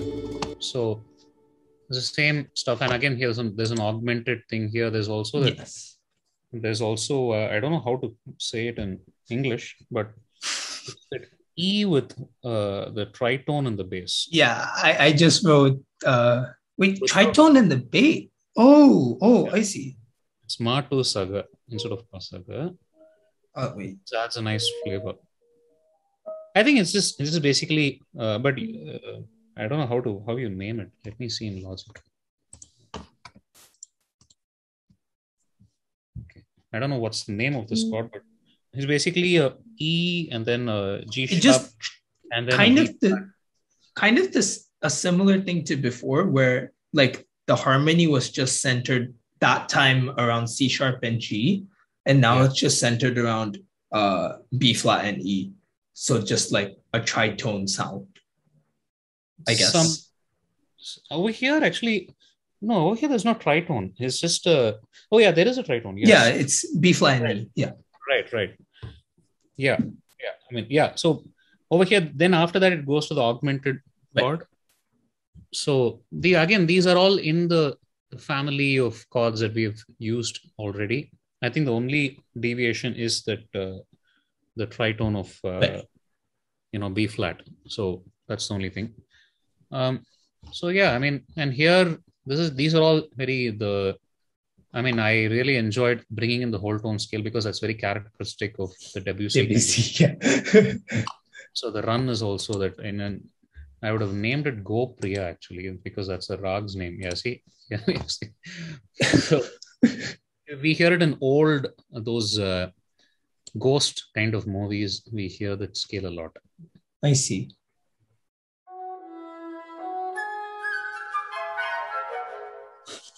You see, and also here I just had that little horns to just hold the note here. That's, the chord.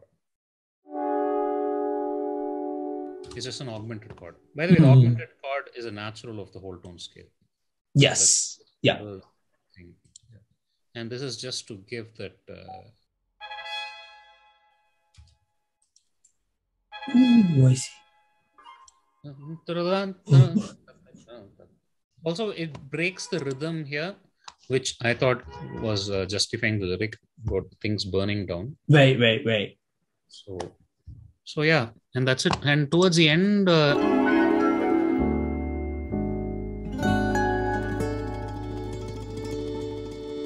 again, I'm bringing the same palette here of the tremolo and the harmonium. Right, right.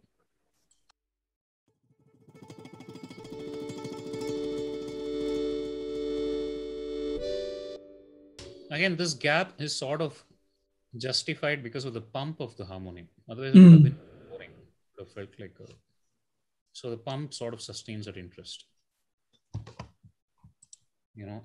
Right, right.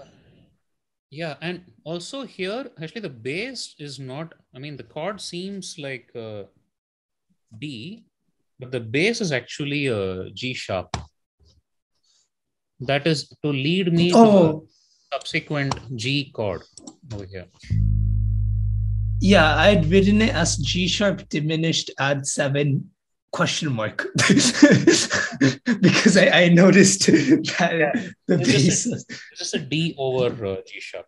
Okay, okay, okay. That makes So sense. in a strange way, uh, this is like a G, G sharp uh, dominant flat five, but I'm not showing the third.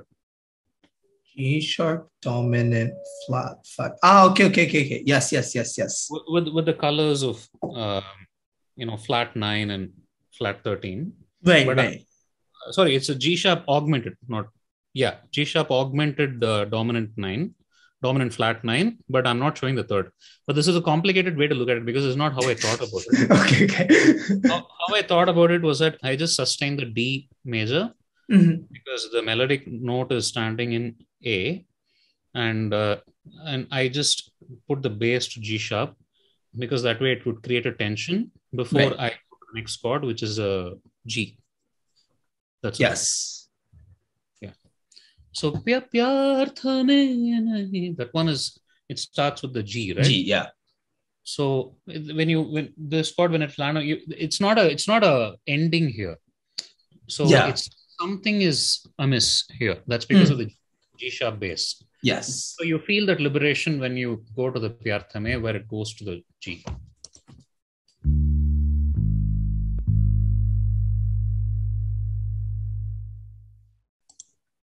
I don't know where the other bass is. Anyway. Oh yeah, here. So here it goes to the G, and then you feel here it's supposed to be like a little victorious thing. No, no, this time things will be fine. But Mm. she's just telling herself that. So I just added some horns here. Where are the horns? Yeah.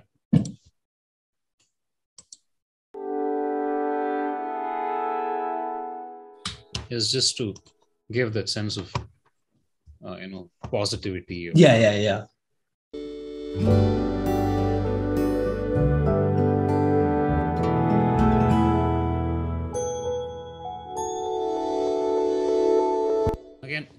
Notice, I'm using the same motif that we used in the opening. Hmm, Takitatam, that one.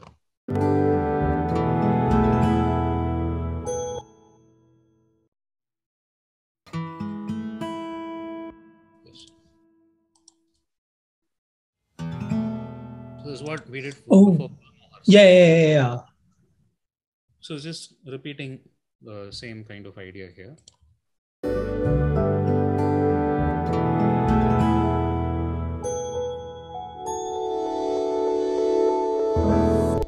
Over here, Tera Mera, again, I'm not coming, I'm not giving a full resolution by coming back to the tonic. Yeah, yeah, yeah. Still with D, and I'm playing with the Kalyani scale from D. So it takes all those colors from the Lydian scale from D. So I'm Mm, showing mm. sharp, I'm showing A, then I'm showing B, then I'm showing E, all these kind of stuff. Let me see if I can connect my piano. And, uh, So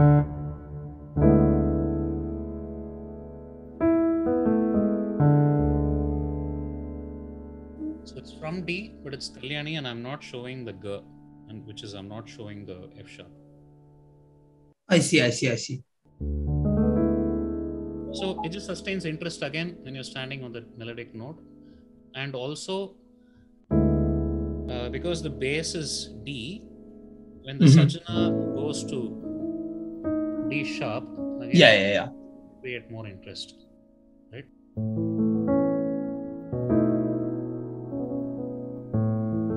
That's just the Kalyani now in A, basically. Yeah.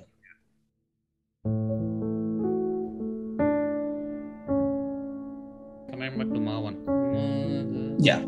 This is again a modal color shift.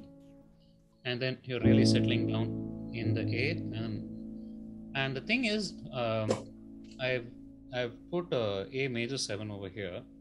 Mhm. Again a color shift because major seven naturally suggests the D sharp and not the D. But the melody just had a D. So that's why uh, Oh. it feels you know because a major seven uh, the natural Leads to Lydian. yeah. So Lydian yeah, yeah. yeah. Lydian has a D sharp from A, but the melody she just sang uh, Maga, which is a classical resolution from a suspended four to a Hmm. major. But because the major seven is there, the overtone is getting created off the D sharp. So these are just little things to just make it more colorful. Uh, while coming back to the tonic, and you should feel a peace over there. Ah, okay, fine. Mm, Gone. mm, yeah. You've arrived, and and you just make it as colorful as possible. Just little stuff like this. And I'm again immediately going to the D major seven. One, right? So Mhm. yeah, so these is just see the see the thing is what we are hearing is one thing, but we always hear in a very subtle way the overtones. So Mm. when you make those shifts the you don't know why you're reacting to it but something happens because it's not the stuff that we're hearing it's the stuff that we're feeling so with every b we are feeling the f sharp also just that we're not hearing it Right, right, right, right. So from a that's why i feel generally a one major seven to a four major seven is always a beautiful moment because you're hearing the tritone when you're hearing the one major seven but when you Hmm. go to the four major seven it's a, becomes a strong moment because the four is not not part of the one major seven palette. Yes. Yeah, yeah, yeah, yeah. So it's just the same thing. I mean, again, I'm just trying to uh, rationalize. Uh, yes. Or yeah. rather, look, look into why something feels a certain way. But Mm. but this, yeah, this. I mean, it happens all the time anyway. Yeah. So I mean, uh, what I'm saying is, I'm. It's not that I um, knew all this and then I put it over there Right, but right. it's sort of when you're going along the way you're aware of all these color shifts that are happening and and then you're just um, making it making use of it uh, Mm. to serve the the purpose of the song and the emotional ideas that you're dealing with right, right.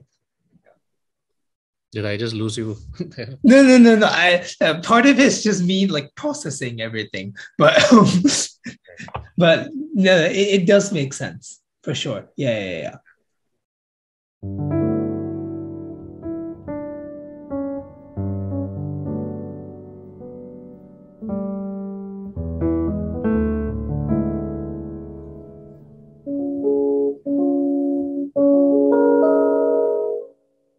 Do you have a seventh there where which in that uh that yeah, piano? no, No, no, no. D major seven. Oh, Yes. Angio seventh. Okay. Uh, Hmm, D major seven. Okay. So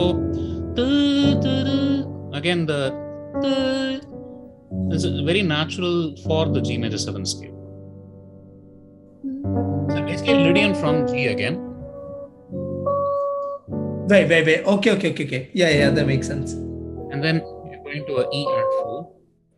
E add 4. Mm-hmm. And then you're going to uh, D, D Lydian. Actually, at D, if I name it, it has to be D69 add, add, I don't know what, at 5. D six nine. Wait, which chord is this? no, don't look at it that way. Just play a Kalyani from D. Okay, you look at it that way, it becomes very, very complicated.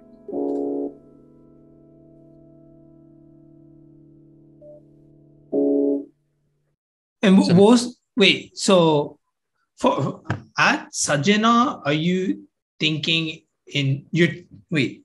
I'm, I'm Sajjan, I'm already back to A. Oh, okay. So,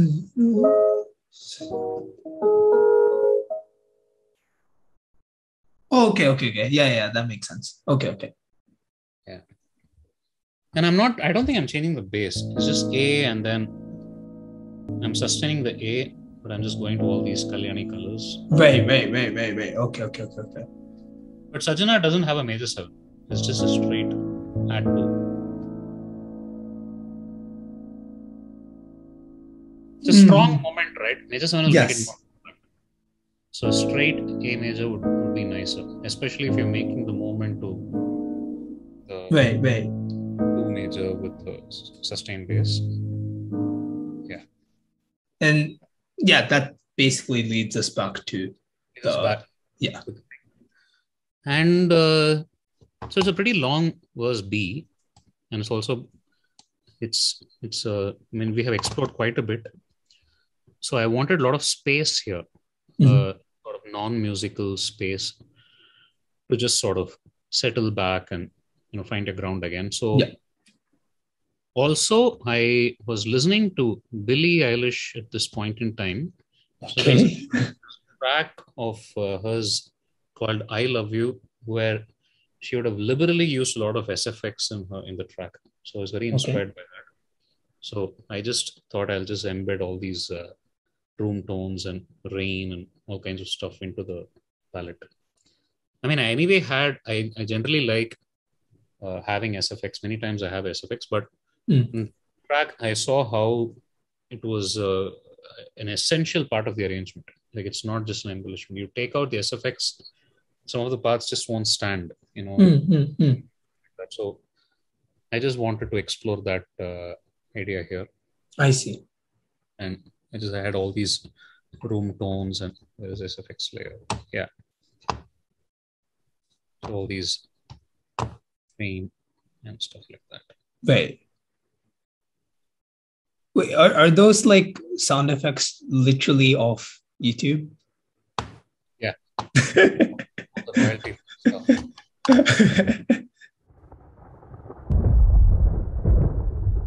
Also, if you notice, one of the reasons I didn't have a bass when I landed back in A was because I wanted to create space for this this rumble, which has a lot of bass. I see, I see. So this one it ends without a bass. Yeah, yeah.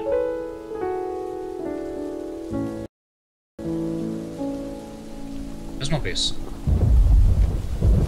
Yeah, there is a bass. So when there's no bass and then you're hearing the rumble, it gains more prominence. Yes. So, and then of course the the thing of she and the na- nature interacting, I wanted that vibe. So we had this. Again, I'm bringing back the motif. Yes.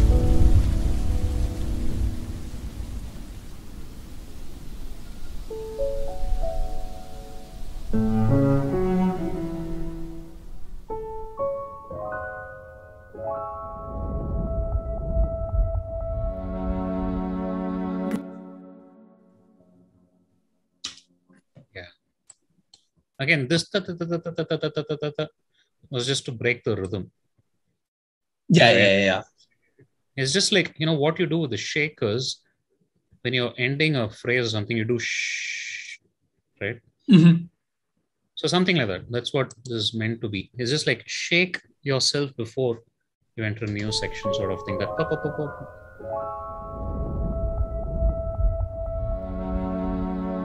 गगन धुआं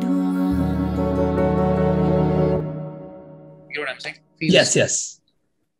Yeah. So that's. I don't know what else I can talk about here. That's so I tried to do that at the clock ticking, but it didn't work. So I did that with the. thing. Yeah. Oh. And this. This is just the cello along with a unison.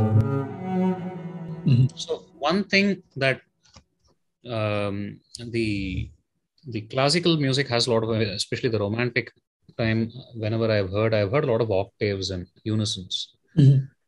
is a very powerful element, you know. The, Yeah. So I just wanted to try a vocal and cello unison over there. Mm. They cover different ranges, and yeah, that's it. And again, this gives perspective to go back. So if you actually notice, verse A is preceded by this motive, verse B is preceded by the same motive in its own key, and again, Yes. the verse A is again having this motive. So it just gives you that little uh, introduction and Right. context, and invo- invokes your memory a little bit. So that's the idea. The main difference here is the the chords that you put at the last two notes. What is it? Yeah, Something like that. diminished to the Minor. minor. Yeah, yeah. That's because I had to go to the. I wanted to start the return of the section with the C sharp minor instead Mhm. of major because I wanted to be a little melancholic. Yeah. To go to C sharp, if it's easier if you go from uh, uh, G sharp minor. It's a natural progression. Mm, right? mm, mm, mm, mm. Yeah. couple of fifths. So G sharp to C sharp. So to go to G sharp, I did that diminished and then went to G sharp and then went to C sharp minor.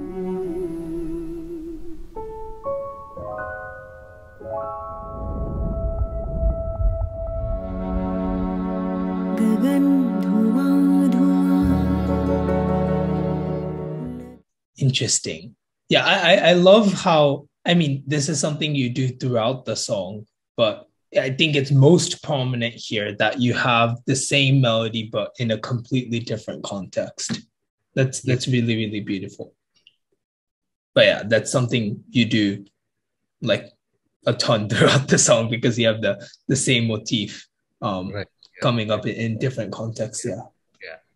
And also when you're playing the same motive with um, uh, a new instrument, it just has some more color. Right, right. Just us playing it and stuff. Yeah. And also that's a very characteristic thing of the Celesta. You can play those chords and it's a very Mm, it's, it's got it's got the Celesta kind of thing, right? So yeah, yeah, yeah. again, the instrument also could have given that idea. I see. They're jamming the same idea on the instrument instead of playing the chord straight. The piano has a beauty when you play it straight, Mm. and this has a beauty when you're doing that kind of. Yeah, yeah, yeah. So yeah, it's just yeah something I think that just happened at that point in time. I don't think there's anything else to discuss in this session. This is a very empty section. It's mainly SFX, and I wanted to buy enough time to get back to the main melody again. Mm. So just did it. And I again, one way is to do it musically. The other way is to do it. This is more like a film scoring kind of attitude. Mm, mm, mm. It I see. also be uh, more. Again, I was very inspired by that Billie Eilish track. Mm, mm. All these things just suddenly came together. I see. Yeah. All right, then should we move to the the ending Sure, yeah. section? Yeah. So I'll just play it once. bên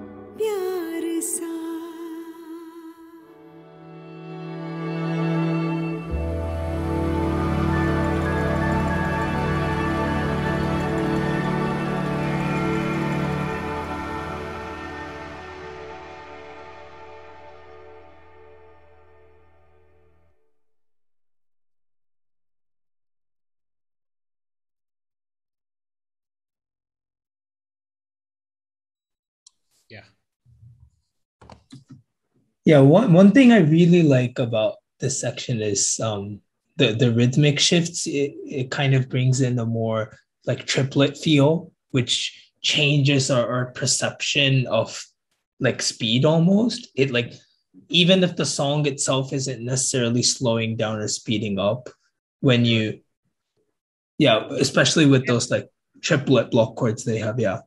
Yeah, that's actually I had uh, the idea of a candle fluttering over here. So I see. sort of represent that musically. Mm, We even tried to shoot it visually, but uh, uh, we we did shoot it, but it didn't come out the way we wanted it to come. I see. We just removed that. But yeah, so these I think you're talking about these, right?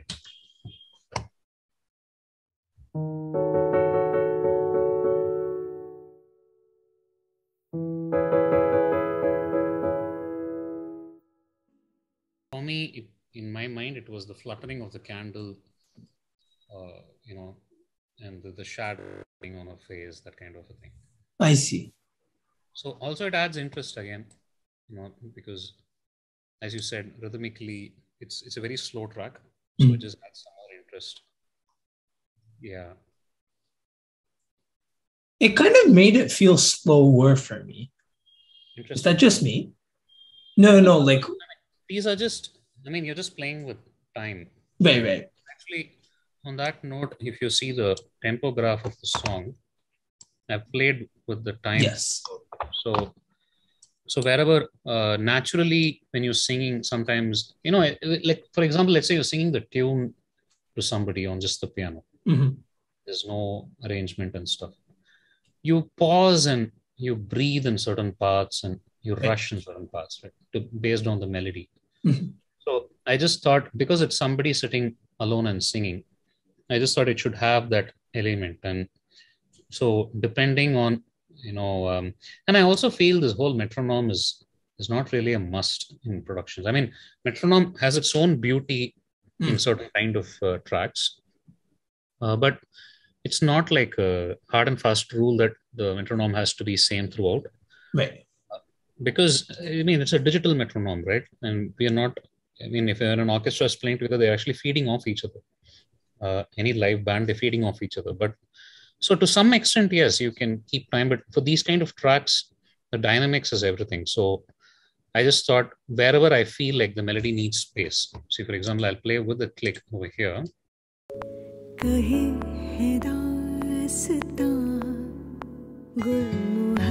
You see, I needed some space for the Gulmohar. Mm-hmm. I just brought down the tempo here. And right, you don't right. you don't feel it as some tempo shifting. It's a very natural.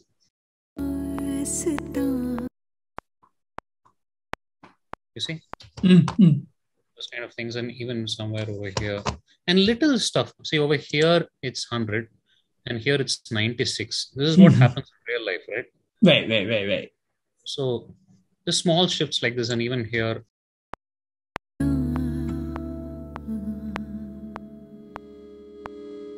I just needed that space over there. Mm. So, so, in general, I was doing it throughout. And uh, over here,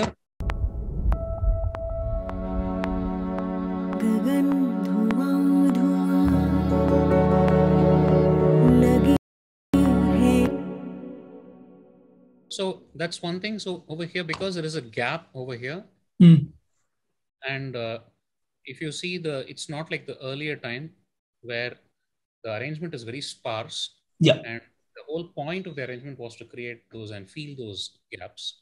Mm-hmm. But here there is a strings that sort of backing throughout. Mm-hmm. So if you just take the vocals and the strings.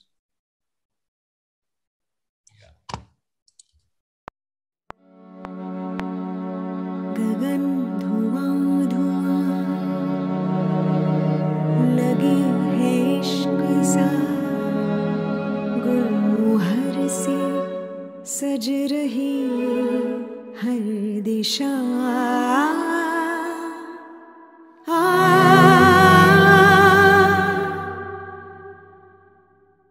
अधूर so so the thing is now this is very bland Mm. spice it up you know I had to have something, and I just thought I can do that piano idea. Right, right. Yeah, it was just that. And quarterly it becomes interesting as well. Yeah, over here, actually, these are all just variations of. You, you just kind of change the bass on F sharp minor, basically, kind of. F Like- sharp. Yeah, yeah, yeah. Yeah, yeah, yeah. Sorry. No, the whole thing goes to the relative minor, actually. The same melody. I. Oh, yeah, yeah, yeah. Correct. Yeah, yeah, yeah. Only in Gulmohar say it comes back to the uh, A again. Mhm. Yeah. Until then, it's all.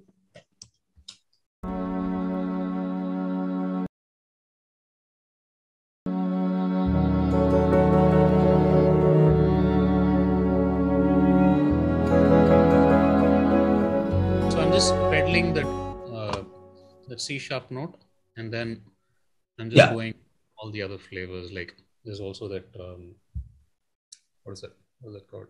E E major six again that comes towards the end. Basically, the the C sharp keeps just it just there all the time.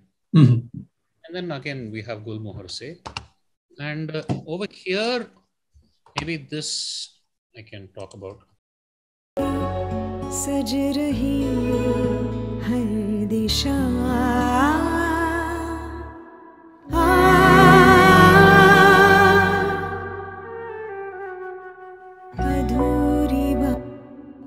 So the idea in my mind was, you know, sometimes when you're alone and uh, ruminating and stuff, Mhm. you have these um, these angry gasps or whatever that you call it is. I don't know how how I can explain it. Like you're just thinking something and you're like, oh shucks. Yeah, yeah, yeah. Uh-huh. So that's what I wanted to do. I see. I see, I see, I see. and singing and all that stuff. And then in between, she just has a burst of uh, exasperation or whatever. And then- Uh-huh. She again continues. That that's that was the idea. Actually, it came out slightly differently from what I had initially imagined. I wanted it to be much more dynamic, like from a me- uh, mezzo piano to a FF sort of thing, and then come back to something very soft. Mhm. but but it didn't work out like that but i i just let it flow how, like how it came together mm-hmm. so that the idea was that over here so i see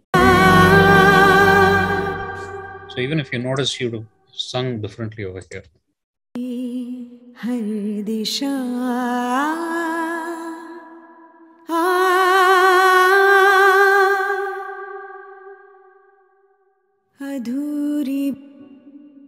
so i just wanted that little um yeah a very human moment amidst the very musical Mm.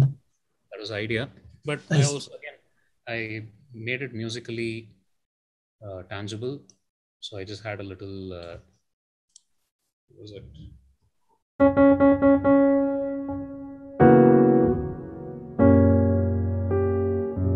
It's a regular 251 back to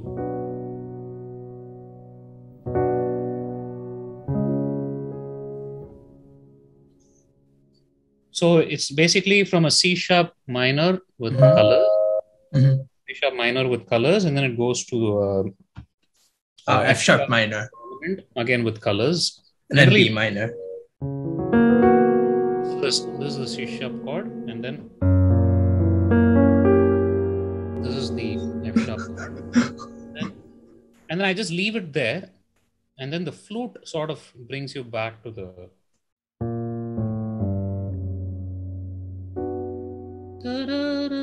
Oh, oh. Yeah, yeah, yeah. Yeah, so then eh, the the flute plays that, and then it comes back to Adhuri Barishe. Adhuri Barishe again. Last time it was directly C sharp major. But this Yeah. time it starts with the B minor and then B. it goes to the C sharp. C sharp major. minor. Mm. C sharp major. Major? Yeah. Oh, sorry, sorry. Yes, major is correct. My bad. Yeah. Yeah, yeah. and then and then again instead of that three note chord that we had the tritone in the verse A, Oh, here I I just play the minor six, the E minor six. right, right. Oh, oh, oh, okay. and then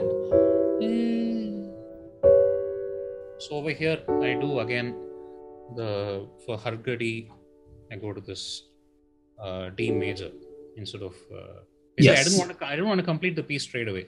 Mm, mm. Uh, so initially it was like that, but when I after the first vocal recording when I heard it, I just felt that place needed more space. Mm. So I just uh, I I called Preetika and I asked her to include one more line, and she had that Hargadi you. So over there I went to the D, and then I again introduced the motif over there in the Celesta, Yes. and then back to the main thing. And that I could do. I mean, musically it was pretty easy for me to maneuver around that.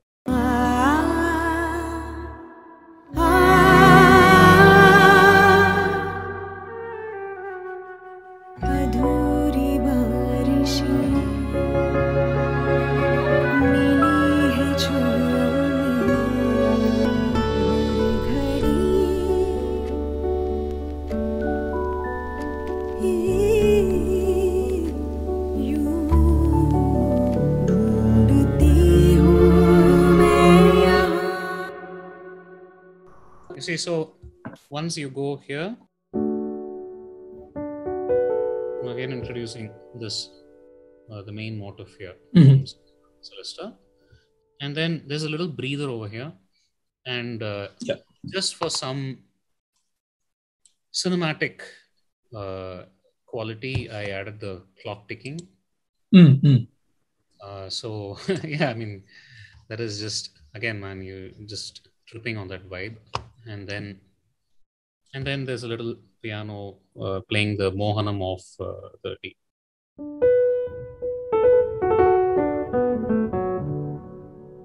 Mm, mm. Yeah. And then again, there's a direct parallel minor it goes to. Same as same as the in verse. Yeah, yeah, yeah. Here, I slowed down the tempo here because I wanted those big cello moments. Mhm. So, Yeah, those cellos are gorgeous.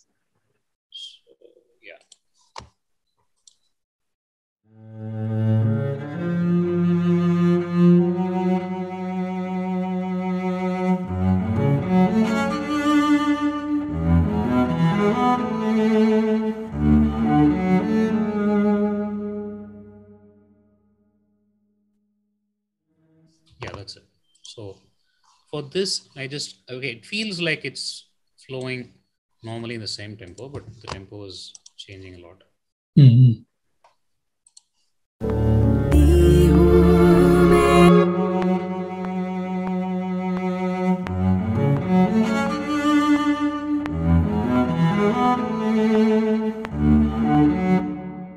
but see you don't feel it right Yeah, yeah. so i mean because that's how i think when a real orchestra plays and the singer they look at each other and this is what they will end up doing Mm. i just try to imitate that in the tempo. That's what and ending i'm as i said for me this chord is not a suspended chord for me even though it is technically Mm. it's just a it's a happy resolution it's not a happy resolution it's not like a super happy resolution Yeah, yeah, yeah. It's a satisfying. yeah for me it's a it's it just works and it and also if you see the melody is ending in pa which is not really climactic Mm, for me. mm. Yeah.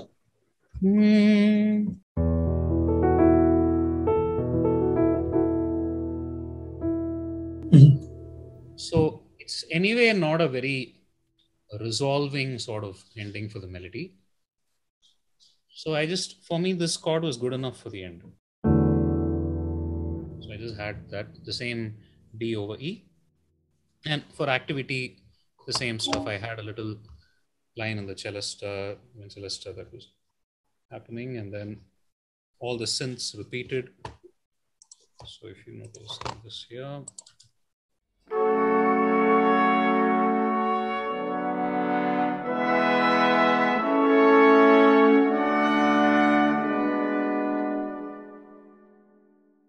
Yeah, so this actually, I had a more horn trumpets kind of sound for the end Mm. more than the strings because, again, that's a, um, you know, for me, this gives a very 1940s, 50s cinema kind of vibe. So I wanted this sound, but in the mix, I think uh, it's not that dominating. It's sort of Mhm. adds a little color. And towards the end, again, first I have the chords that are being held.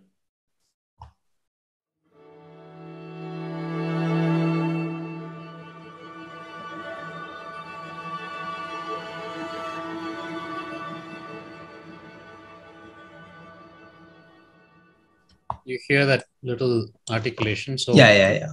that's to give some dynamism to the chord that's being held. And I'm having the same.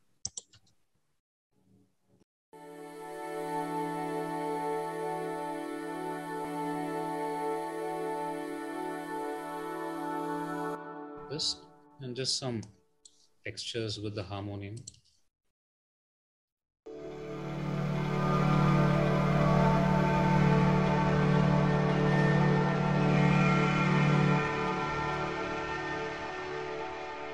So this synth gave me the tail that I needed. I needed like a really slow. Yeah, yeah, yeah. So instead of doing it with automation, this synth naturally had that thing. I see. And ukulele just some tremolos uh, and stuff.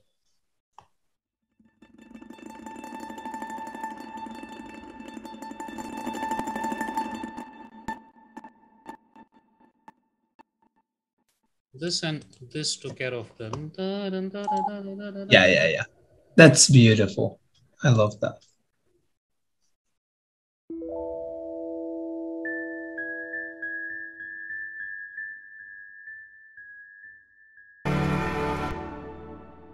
Sounds like Für Elise when you just hear it separately. and that's it. And uh, this is JP bass just playing the bass note.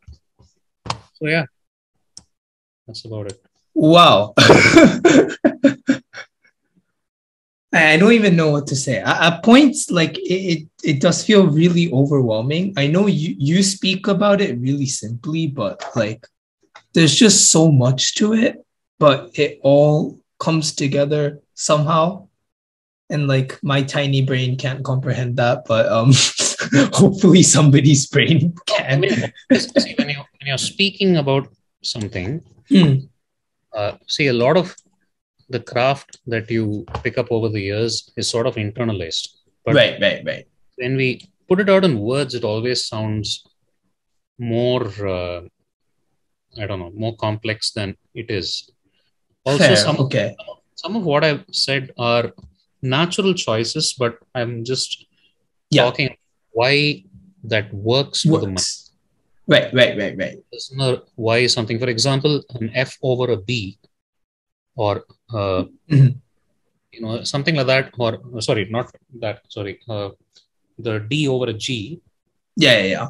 the d over a e that one it's it anyway it's something that everybody plays but why it sort of works in the context when we get into that it's very interesting to understand so Right, right. somewhere when you're making these choices with awareness uh, so when awareness and instinct go together you you can sort of tweak your experience in a certain way Mm-hmm.